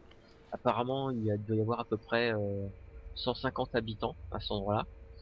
Il y a bel et bien une, petite, une petite colline qui est, alors c'est vite dit, qui est un peu le point euh, intéressant de la région. Intéressant dans le sens où euh, il doit y avoir une magnifique vue sur, tout le, sur toute la région. Et euh, surtout, ce qui vous intéresse le plus, c'est que jusqu'à... Il y a des, des, des textes qui racontent ça, qui expliquent que jusqu'à l'époque romaine, il y avait un cercle de pierre à cet endroit-là. Mais que les, les Romains, quand ils, ils ont euh, envahi le- la Grande-Bretagne, euh, ils se sont un petit peu heurtés à la, à la religion du coin et du coup le, les, ce seraient les Romains qui auraient abattu et euh, qui auraient viré le cercle de pierre, qui l'auraient abattu. Euh, les pierres qui ont, euh, semble-t-il, été euh, cassées, débitées pour être utilisées pour des, ah ouais, ils ont, construire des bâtiments, des trucs ils comme ont ça. tout viré, il n'y a même pas de vestiges. Ils ont non non il n'y a plus rien. C'est euh, les non c'est il y a, vraiment plus rien quoi. C'est tout a été euh, tout a été rasé. euh. Donc le cercle de pierre apparemment il se trouvait en haut, tout en haut de la, de la colline. C'était un lieu druidique assez euh, assez connu de la région. Mais voilà, depuis que les Romains sont passés, ils ont ils ont tout rasé, ils ont tout bousillé, ils ont viré les pierres et les pierres apparemment étaient débitées pour être utilisées comme pierres de construction pour euh, bah, comme à l'époque euh, ils, construisaient euh, les Romains quand ils sont installés ils s'en sont servis pour construire des maisons des trucs comme ça donc les pierres Ça c'est la théorie que les, pierres ont, été utilisées. ont été utilisées là. Les seuls vestiges qui restent, c'est des marques, des trous dans le sol qui auraient pu marquer l'emplacement de là où se trouvaient les pierres. Et c'était bien un cercle de pierre qu'il y avait? Bah justement, c'est euh, c'est pas précisé, c'est juste euh, il y avait des pierres levées à cet endroit-là, mais c'est pas précisé si c'était un cercle. euh, je, je vois bien, je vois bien à quoi tu Oui. à quoi tu Il n'y a, tu- pas de photo, il y a pas de photo quoi Non, ce il soit. y a, non, il y a pas de photo par contre. Il y a juste il y a juste une vague représentation, mais une un dessin. Mais euh, bon voilà, c'est précisé que c'est euh, c'est une, une vue d'artiste, donc euh, toi tu toi tu sais très bien à force de faire des recherches, tu sais très bien que les vues d'artistes, souvent euh, souvent les, les artistes ont tendance à en rajouter un petit peu pour que ça fasse. Eh oui, oui, j'ai un frère artiste, donc euh, je sais. Voilà, voilà, exactement. exactement. Donc voilà, vous savez que ça se trouve à peu près, euh, comme je vous l'ai dit, à 60 km au nord-est de, au nord-est de Londres, euh, à côté de, à côté de Cambridge. Euh, il faudrait deux, il faudrait deux bonnes heures de route. euh. Bah, bah, du coup, je regarde Harry, j'ai dit, euh, ouais, bah, je pense qu'il va falloir aller sur place. Hein. Ouais, je pense aussi, vu qu'il n'y a pas de, pas de réelle photo, rien du tout, donc euh, autant, autant, autant s'y rendre. Ça nous fera une petite balade camp, campagnarde, quoi, camp champêtre. Ok. Euh... Sanford, toi tu te reposes, euh, tu, te reposes- tu, vas, tu te fais une sieste, un truc comme ça, c'est ça? Ouais, c'est ça. Petit repas léger, et puis après, euh, dodo. D'accord, très bien. Euh... Bah écoute, ta ta sieste euh, est, interrompue. Tu t'as t'as commencé à rêver un peu de tout ce que tu avais lu dans le bouquin. Et euh, le truc qui te quelque chose qui te réveille, tu tu repensais un peu à certaines descriptions de de, de qu'il y avait dans le bouquin. Et à un moment donné, tu, dans ton rêve, euh, tu sens une espèce d'odeur de charogne assez euh, et euh, qui a l'air de provenir d'une silhouette dans ton rêve, un type avec une grande, une grande toge, une grande espèce de grande cape à capuche, avec un visage couvert par un masque, qui fait clairement penser à ce que tu as vu dans, dans la pièce et tout ça et mais avec une odeur mais horrible de pourriture.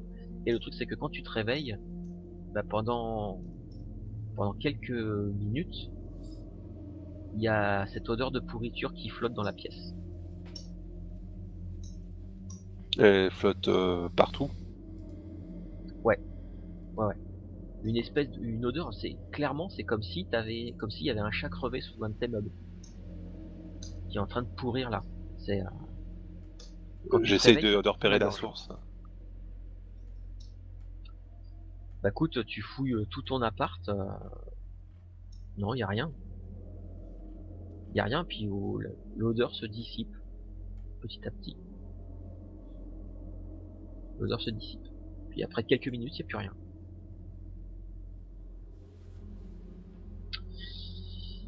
Euh, Voilà pour toi. Et pour En tout cas, cette odeur de pourriture, ouais, ça me fait, ça me rappelle l'histoire du, du clochard, quoi.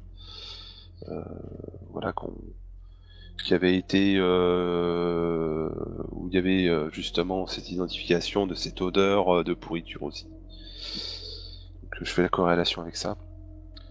C'était, euh, je sais plus, le, c'était Toc qui avait fait, euh, qui avait relevé ça. Oui, ouais, exactement. Et apparemment c'est Suite à la visite de. Bacon, voilà. Très bien. Euh, et on va finir sur Anne. Anne, tu es repassée à ton bureau à, l'hôpital, puisque Suzette t'avait dit qu'elle avait d'autres, elle avait donné, elle avait mis les papiers sur ta petite recherche que tu lui avais demandé. Euh, et il y a bel et bien une, une enveloppe, une enveloppe avec euh, une réponse de l'administration qui te dit que un infirmier. euh, alors toi, tu avais demandé. euh, tu avais demandé à Suzanne de chercher des, un infirmier du nom de de Edwards euh, ou euh, Euh, Evan. Evans. Et, euh, bah a priori, euh, ils n'ont aucun infirmier enregistré à ce nom-là. Ah. Il n'y a aucun infirmier enregistré à ce nom-là. Euh, et euh, sur le bureau, euh, bah, avec à côté de ta lettre, il y, a le, il y a le courrier du jour. Et il y a une lettre euh, qui au début te fait... En fait, t'as failli ne pas l'avoir. Ce qui t'a fait tiquer, c'est que euh, il y a le nom de, de l'expéditeur et c'est le docteur Trollop. Ah, je l'ouvre. hein. Tu l'ouvres euh, et il y a euh, une, longue lettre. Euh, alors, soit, soit on s'arrête là-dessus et on lira la lettre lors de la prochaine séance, soit je, te, partage la lettre et tu nous la lis et on, on s'arrêtera là-dessus et on enchaînera plus tard. C'est toi qui me dis si tu si tu le sens, euh, Isaiah, si tu si tu le sens de lire le truc. euh, Je préfère la, la garder pour la prochaine fois parce que je commence un peu à... Ouais, c'est pour ça que. Voilà, si les autres supportent le suspense. Oh, quel teaser incroyable Pas de souci. Ouais, Pas de souci. Donc voilà, on, euh, on s'arrête là-dessus. Anne, tu as une lettre euh, assez longue, assez longue du docteur Trollop. Et on commencera par la lecture de cette, euh, cette lettre-là lors de la prochaine session.